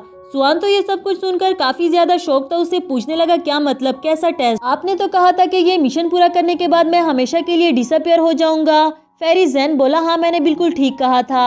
आज के बाद जुआन का करेक्टर हमेशा के लिए डिसअपेयर हुआ। इसके साथ ही जुआन टेलीपोर्ट होकर रेयर वर्ल्ड में आ गया। अब वो किसी नॉवल का करेक्टर नहीं रहा और ना ही उसके पास सुपर पावर्स रही, बल्कि एक इंसान बन गया है जो हमेशा के लिए इस दुनिया में रहने वाला था। नंजिंग भी उसे देखकर काफ़ी ज़्यादा खुश हो जाती है। उसे तो उम्मीद भी नहीं थी कि जुआन वापस आ जाएगा। जुआन भी काफ़ी ज़्यादा खुश था। नंजिंग को जियाजुन की डायरी दिखाई और वो सारी कहानी सुनाई जो कि उसे फेरी जैन ने बताई थी। लेकिन उसे चिढ़ाते हुए कहने लगा कि मुझे फेरी जैन ने बताया, अगर नंजिंग तुम्हारा ख्याल नहीं रख सकी तो मैं तुम्हें उस दुनिया से वापस ले आऊँगा। इस पर नंजिंग उसे किस कर देती है और जुआन भी अपना बदला लेने के लिए उसे किस करने लगा। फाइनली इन दोनों की हैप्पी लाइफ यहाँ से स्टार्ट हो जाती है। गाइज़ अगर आप लोगों को ये एपिसोड अच्छा लगा तो मेरे चैनल को सब्सक्राइब और एक प्यारा सा कमेंट ज़रूर कर देना। नेक्स्ट सीन में हमें ये किंग को दिखाया गया जो की अब कंपनी में एज असिस्टेंट काम कर रही थी। पर बाकी स्टाफ को तो उसके साथ काम करने में काफ़ी ज़्यादा नर्वसनेस होती है और ज़ाहिर सी बात है वो पहले इस कंपनी की सीईओ हुआ करती थी। लेकिन वो फिर भी इन्हें अपने साथ कंफर्टेबल करने की कोशिश करती है, इन्हें बताती है कि आप लोगों को मुझे मिस कहने की ज़रूरत नहीं, बल्कि सिंपली मुझे मेरे नाम से भी बुला सकते हो। इसके बाद हमें जुकेन के डैड को दिखाया गया जो कि कंपनी में उससे मिलने के लिए आया था और ये किंग उन्हें देखकर ऑफ़िस में बिठाती है फिर उनके लिए चाय लेकर गई। मिस्टर लू उससे कुछ बात करना चाहता था, उसे अपने पास बिठाया और पूछने लगा कि तुम तो कंपनी छोड़ गई थी ना, फिर वापस क्यों आई? इस पर ये किंग ने उन्हें सॉरी किया कि ये हमारा पर्सनल मैटर है, मैं इसके बारे में आपको नहीं बता सकती। मिस्टर लू फिर से पूछने लगा कि क्या तुम्हें वो डील याद है जो हम दोनों के बीच में हुई थी? एंड ये किंग बोली, जी, मुझे अच्छे से याद है। अगर मैं जुकिन के साथ डेट करूँगी तो आप अपनी इन्वेस्टमेंट वापस ले लेंगे। काफ़ी पोलाइटली बताने लगी कि अब मुझे आपको फॉलो करने की कोई ज़रूरत नहीं, क्योंकि आप इस कंपनी के पार्टनर नहीं रहे। दूसरी तरफ़ जुकन को दिखाया जाता है जो कि गुस्से में अपने ऑफ़िस की तरफ़ आ रहा था और डैड को देखते ही उन्हें काफ़ी सुनाने लगा। बताने लगा कि अगर आपको कोई कम्प्लेन है तो मुझसे करे ना। हमेशा मेरे प्यार को धमकाने की क्या ज़रूरत? मैं वो हर बात मानूँगा जो आप कहेंगे, लेकिन प्लीज़ हम दोनों के बीच में आने की कोशिश मत करें। मिस्टर लू तो इसका गुस्सा देख भी काफ़ी ज़्यादा पुरसकून थे। कहने लगे, ये कौन सा तरीका है अपने डैड से बात करने का? खैर, ये चाय काफ़ी अच्छी थी। तुमने बताया नहीं कि तुम्हारी कंपनी में इतनी अच्छी चाय मिलती है। कभी मेरे ऑफ़िस में भी भेजना। ये कह के वो चले जाते हैं और यहाँ जुकेन को भी यकीन नहीं होता कि अचानक से वो इतने अच्छे कैसे बन गए। ये किंग से पूछने लगा कि क्या उसने तुम्हें कुछ कहा था? हमें फ्लैशबैक से दिखाया गया कि उसने ये किंग से सॉरी की कि मैं ये सब कुछ करके अपने बेटे को स्ट्रॉन्ग बनाना चाहता था। मैंने कभी भी तुम दोनों के बीच में नहीं आना चाहा, लेकिन मैं जानना चाहता था कि मेरा बेटा अपनी पसंद के लिए क्या कुछ कर सकता है। ये किंग काफ़ी ज़्यादा खुश थी। कहने लगी, तुम्हारे डैड ने क्या कहा? ये मैटर नहीं करता, लेकिन अभी अभी जो कुछ तुमने कहा वो मेरे लिए बहुत मैटर करता है। इसके साथ ही ये किंग उसे किस करने लगी जो कि इन दोनों की ही फ़र्स्ट किस थी। नेक्स्ट सीन में इन दोनों को दिखाया जाता है, जिन्होंने मोम को सारी कहानी सुनाई, उनसे सॉरी करते हैं कि हम दोनों ने आपको पहले सच नहीं बताया। मोम पहले तो थोड़ा नाराज़ थी, लेकिन फिर उठते हुए जवान का कान खींचते हुए कहने लगी, तुम वाकई इंसान बन गए हो? अब उसे दर्द हुआ है तो यकीन इंसान बन ही गया होगा। उसे वादा करने को कहती है की तुम कभी भी नंसिंग को छोड़कर नहीं जाओगे। इस पर जुआन भी उनसे फुल एक्साइटमेंट में प्रॉमिस कर लेता है और मॉम तो नेक्स्ट प्रोसीजर के बारे में ही सोचने लगी, यानी कि इन दोनों की शादी। उन्हें अभी भी एक टेंशन थी कि तुम दोनों फ्यूचर में अपने बच्चों की रजिस्ट्रेशन कैसे कराओगे? इस पर जुआन अपना आईडी कार्ड दिखा देता है। कहने लगा, अब मैं इस दुनिया का हिस्सा बन गया हूँ तो मेरे पास यहाँ रहने के फुली राइट्स हैं? इसके बाद मॉम काफ़ी मज़े मज़े से इनके बच्चों के बारे में डिस्कस करने लगी। तीनों ही काफ़ी ज़्यादा खुश थे। इसी के साथ हमारा ये वाला एपिसोड भी खत्म हुआ। Hello friends welcome back to my channel तो बढ़ते हैं इस सीरीज़ के twenty fourth and last episode की तरफ़। एपिसोड के स्टार्ट में हमें दिखाया जाता है इन दोनों ने अपना मैरिज सर्टिफिकेट बनवा लिया है और यहाँ मोम का तो देख देख कर दिल ही नहीं रच रहा। पता नहीं कितने बार देख चुकी है। आफ्टर दैट इन्हें मैरिज गिफ्ट में बेड शीट ड्राई फ्रूट्स और कुछ पैसे देती है जो की जुआन के लिए ही थे, मगर इसका इंचार्ज नंजिंग को बनाया। साथ ही जुआन को कहा की आज के बाद तो मुझे आंटी नहीं बल्कि मोम बोलोगे, क्यूँकी इनका स्टेटस जो चेंज हो गया। नेक्स्ट सीन में ये दोनों जुकेन को अपने वेडिंग के बारे में बताते हैं कि अगले हफ़्ते हमारी शादी होने के बाद हम इस घर में रहने वाले हैं। असल में ये दोनों उसे अपने घर से बाहर निकलने का कह रहे थे, लेकिन जुके ने तो इनकी शादी का सुनकर सिर्फ़ मुबारकबाद ही दी। कहने लगा, गिफ्ट शादी वाले दिन ही दूँगा। अगर तुम लोगों ने कुछ और नहीं कहना तो मैं सोने के लिए जा रहा हूँ। ये कहकर जुकेन वहाँ से चला जाता है और यहाँ जुआन कहने लगा, कितना बुद्धू इंसान है। चाइनीज़ तो इसे समझ आती नहीं, पता नहीं औतर किसने बना दिया। इसके बाद हमें दिखाया जाता है, मिस ये उसे लेने के लिए आ गई थी और यकीनन वो खुद तो नहीं आई, उसे भी नंजिंग ने ही बुलाया है इसे अपने साथ ले जाने के लिए। अब जुकेन खुद जो बच्चा गया था, उसे इन दोनों की बात समझ ही नहीं आ रही थी। या शायद वो समझना ही नहीं चाहता था। फिर जाते हुए ये किंग उसे जुआन के साथ हैप्पी टाइम स्पेंड करने को कहती है और इधर जुआन भी सुनकर काफ़ी ज़्यादा खुश हुआ। दूसरी तरफ़ उसके दिल की मुराद भी तो पूरी हो गई जुकेन को घर से निकालने की। जुकेन को लगा कि ये किंग उसे अपने घर लेकर जा रही है, पर ये तो इसे इसी के घर ले आई जो कि इसने भेज दिया था। बताने लगी, मैं उस घर को सेल होने कैसे देती जिसे तुम्हें इतना ज़्यादा प्यार है? मैंने तुम्हारे लिए इसे फिर से खरीद लिया। जुकिन भी सुनकर खुश हो गया। इसके बाद दोनों अंदर जाते हैं, जहाँ ये किंग ने बताया कि मेरे पास तुम्हारे लिए एक जॉब है, लेकिन इसके लिए तुम्हें पे नहीं किया जाएगा। अगर वो अंदर पड़ा गिफ्ट मैंने तीन दफ़ा ट्राई करने में निकाल लिया तो तुम्हें ये जॉब करनी पड़ेगी, वरना तो तुम्हारी अपनी मर्ज़ी। आफ्टर दैट ये किंग उस गिफ्ट को बाहर निकालने की ट्राई करती है और यहाँ जुकेन अपनी मेमोरीज के बारे में सोचने लगा, जब उसने पहली बार अपनी कंपनी बनाने का डिसाइड किया था। तब से लेकर आज तक ये किंग ने हमेशा उसका साथ दिया। इस दौरान बहुत सी उतार चढ़ाव आई, बहुत कुछ बदला, लेकिन ये किंग कभी भी उसके लिए नहीं बदली। इधर ये किंग ने गिफ्ट को निकालने के दो चांसेस तो खो दिए। बेचारा जुकेन सोचने लगा कि कहीं वो तीसरा चांस भी ना खो दे और मैं कुआरा ही ना मर जाऊँ। अब उससे लेकर खुद ही गिफ्ट निकाल कर देने लगा।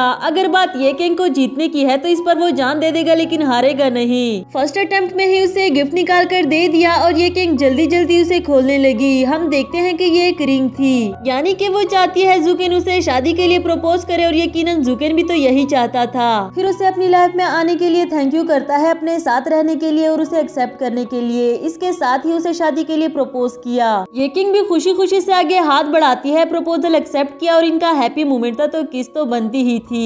नेक्स्ट सीन हमें जुआन और नंजिंग की वेडिंग का दिखाया जाता है, जहाँ ये तीनों बेचारे सिंगल लोग तो सिर्फ़ जेलस ही हो रहे थे। पर जियाओ कहने लगी, देख लेना, अगली शादी तो मेरी ही होगी। पीछे से ये किंग आते हुए कहने लगी, ये तो तब डिसाइड होगा ना जिसने ब्राइड की बुके पकड़ ली. ये कहकर नंजिंग से मिलने उसके रूम में जाने लगी और यहाँ जुकेन भी उससे चिपका उसके पीछे जाता है। इस पर ये किंग ने उसे रोक दिया कि ब्राइड के रूम में लड़के नहीं जा सकते। यही रहकर इनसे बातें करो फ़ोटो लो। खैर, वो लोग भी समझ गए की जितना जुकेन उससे चिपक रहा है यकीन अगली शादी इन दोनों की ही होने वाली है। इसके बाद हमें दिखाया गया एक यंग कपल इन दोनों की रिंग्स लेकर आता है और सामने ही दुल्हा मिया खड़ा था काफ़ी सच दज कर। दूसरी तरफ़ हमारी प्यारी सी ब्राइड की एंट्री हुई और साथ ही आते हुए जुआन के साथ गुजारे हुए लम्हों को रिकॉल कर रही थी। हर वो अच्छा बुरा वक्त जो इन दोनों ने साथ फेस किया, दिल ही दिल में उसे अपना अनफॉरगेटेबल लव बनने के लिए थैंक यू करती है। फिर नैन्सी की मोम उसे जुआन के पास लाते हुए कहने लगी की मेरी बेटी थोड़ी सी सिली है, थोड़ी सी डम है। चाहे मैं इसकी बायोलॉजिकल मदर नहीं हूँ, लेकिन मैंने अपनी सारी ज़िंदगी में भी इससे सिंपल और प्योर लड़की नहीं देखी। आज से इसका हाथ तुम्हारे हाथों में दे रही हूँ। हमेशा इसका बहुत सारा ख्याल रखना, बहुत सारा प्यार करना, जो खुशियाँ मैं भी इसे नहीं दे सकी, वो तुम देना। जुआन ने भी उनसे प्रॉमिस करके बेफिक्र रहने के लिए कहा। इसके बाद दोनों ही अपने मैरिज के वॉव शेयर करने लगे। नैनसिंग बोली, मुझे आज का दिन ख्वाब लग रहा है। बिल्कुल वैसे ही जब तुम मुझसे पहली बार मिले थे और मुझे लगा था कि मैं ख्वाब देख रही हूँ। पहले तो तुमने मुझे बहुत तंग किया, बहुत परेशान किया, लेकिन पता नहीं फिर अचानक से ऐसा क्या हुआ कि मुझे तुम्हारी फ़िक्र होने लगी। तुम्हारे पास आने को दिल करता था तुम्हें देखना चाहती थी, और ये सब तुम्हारी गलती है, तुमने मुझे ऐसा बनाया। अब तुम्हें मेरा ख्याल भी रखना होगा। दोनों की एक्साइटमेंट का वो हाल था कि चेहरों पर हँसी और आँखों में आँसू थे। वैसे इस सीन ने मुझे भी इमोशनल कर दिया। इसके बाद जुआन ने बताया कि आज के बाद मैं तुम्हारा हस्बैंड हूँ और ये बात सुनकर तो नंसिंग की हँसी ही नहीं रुकी। जुआन ने मजीद कहा कि मैंने हमेशा तुम्हें अपनी वाइफ कहना चाहा। आज पहली बार कहा और आज के बाद रोज कहूँगा। बताता है की मैं बहुत सेल्फिश हूँ, बहुत चिल्डिश हूँ, बहुत एरोगेंट हूँ, लेकिन आई स्वेयर तुम्हारे लिए बिल्कुल भी नहीं। ये सारी बातें बताते हुए बेचारा इतना ज़्यादा इमोशनल हो गया की उसकी आँखों से आँसू ही नहीं रुक रहे थे। यहाँ तक कि अपनी लिखी हुई स्पीच ही भूल गया था। फिर निकाल कर नंसिंग को सुनाने लगा। उसे यकीन दिलाता है कि आज के बाद कभी भी तुम्हारी आँखों में आँसू आने नहीं दूँगा। वो सारी खुशियाँ देने की कोशिश करूँगा जो तुम डिजर्व करती हो। ये इमोशनल स्पीच खत्म होने के बाद दोनों अपनी रिंग शेयर करते हैं और वेडिंग किस करके दोनों ने अपनी वेडिंग को कंप्लीट कर लिया। ये दोनों तो काफ़ी ज़्यादा खुश थे ही, लेकिन इन दोनों से कहीं ज़्यादा इनके ऑफ़िस के कुलीग्स इनके लिए खुश नज़र आते हैं। इसके बाद बुके टॉस करने का सीन होता है, जिसके लिए काफ़ी सारी लड़कियाँ जमा हो गई थी। हमारी जियाओ और यूफान भी पीछे नहीं रहती। वो यंगेस्ट कपल भी शामिल हुए जो कि रिंग्स लेकर आए थे। फिर जैसे ही नैनजिंग ने बुके फेंका उस लड़के ने पकड़ लिया। उस लड़की को देते हुए कहने लगा, मैं तुम्हें पसंद करता हूँ। बेचारा पता नहीं कब से बताने की कोशिश कर रहा था। अच्छी बात तो ये थी कि वो लड़की भी इसे पसंद करती है। बस इंतज़ार था कि कब ये मुझे प्रपोज करे और मैं हाँ बोलूँ। नेक्स्ट सीन में फ़ंक्शन खत्म होने के बाद ये तीनों घर आते हैं और मोम उसका सारा सामान उसके साथ उठाकर ला रही थी। लेकिन अपने साथ आने नहीं देती, बल्कि उसके अपने घर जाने के लिए कह रही थी, क्योंकि ये दोनों अब मैरिड है। इसके बाद हमें इन दोनों को एक दूसरे के साथ बेड पर बैठा हुआ दिखाया जाता है और ऐसे शर्मा रहे थे जैसे एक दूसरे से पहली बार मिले हो।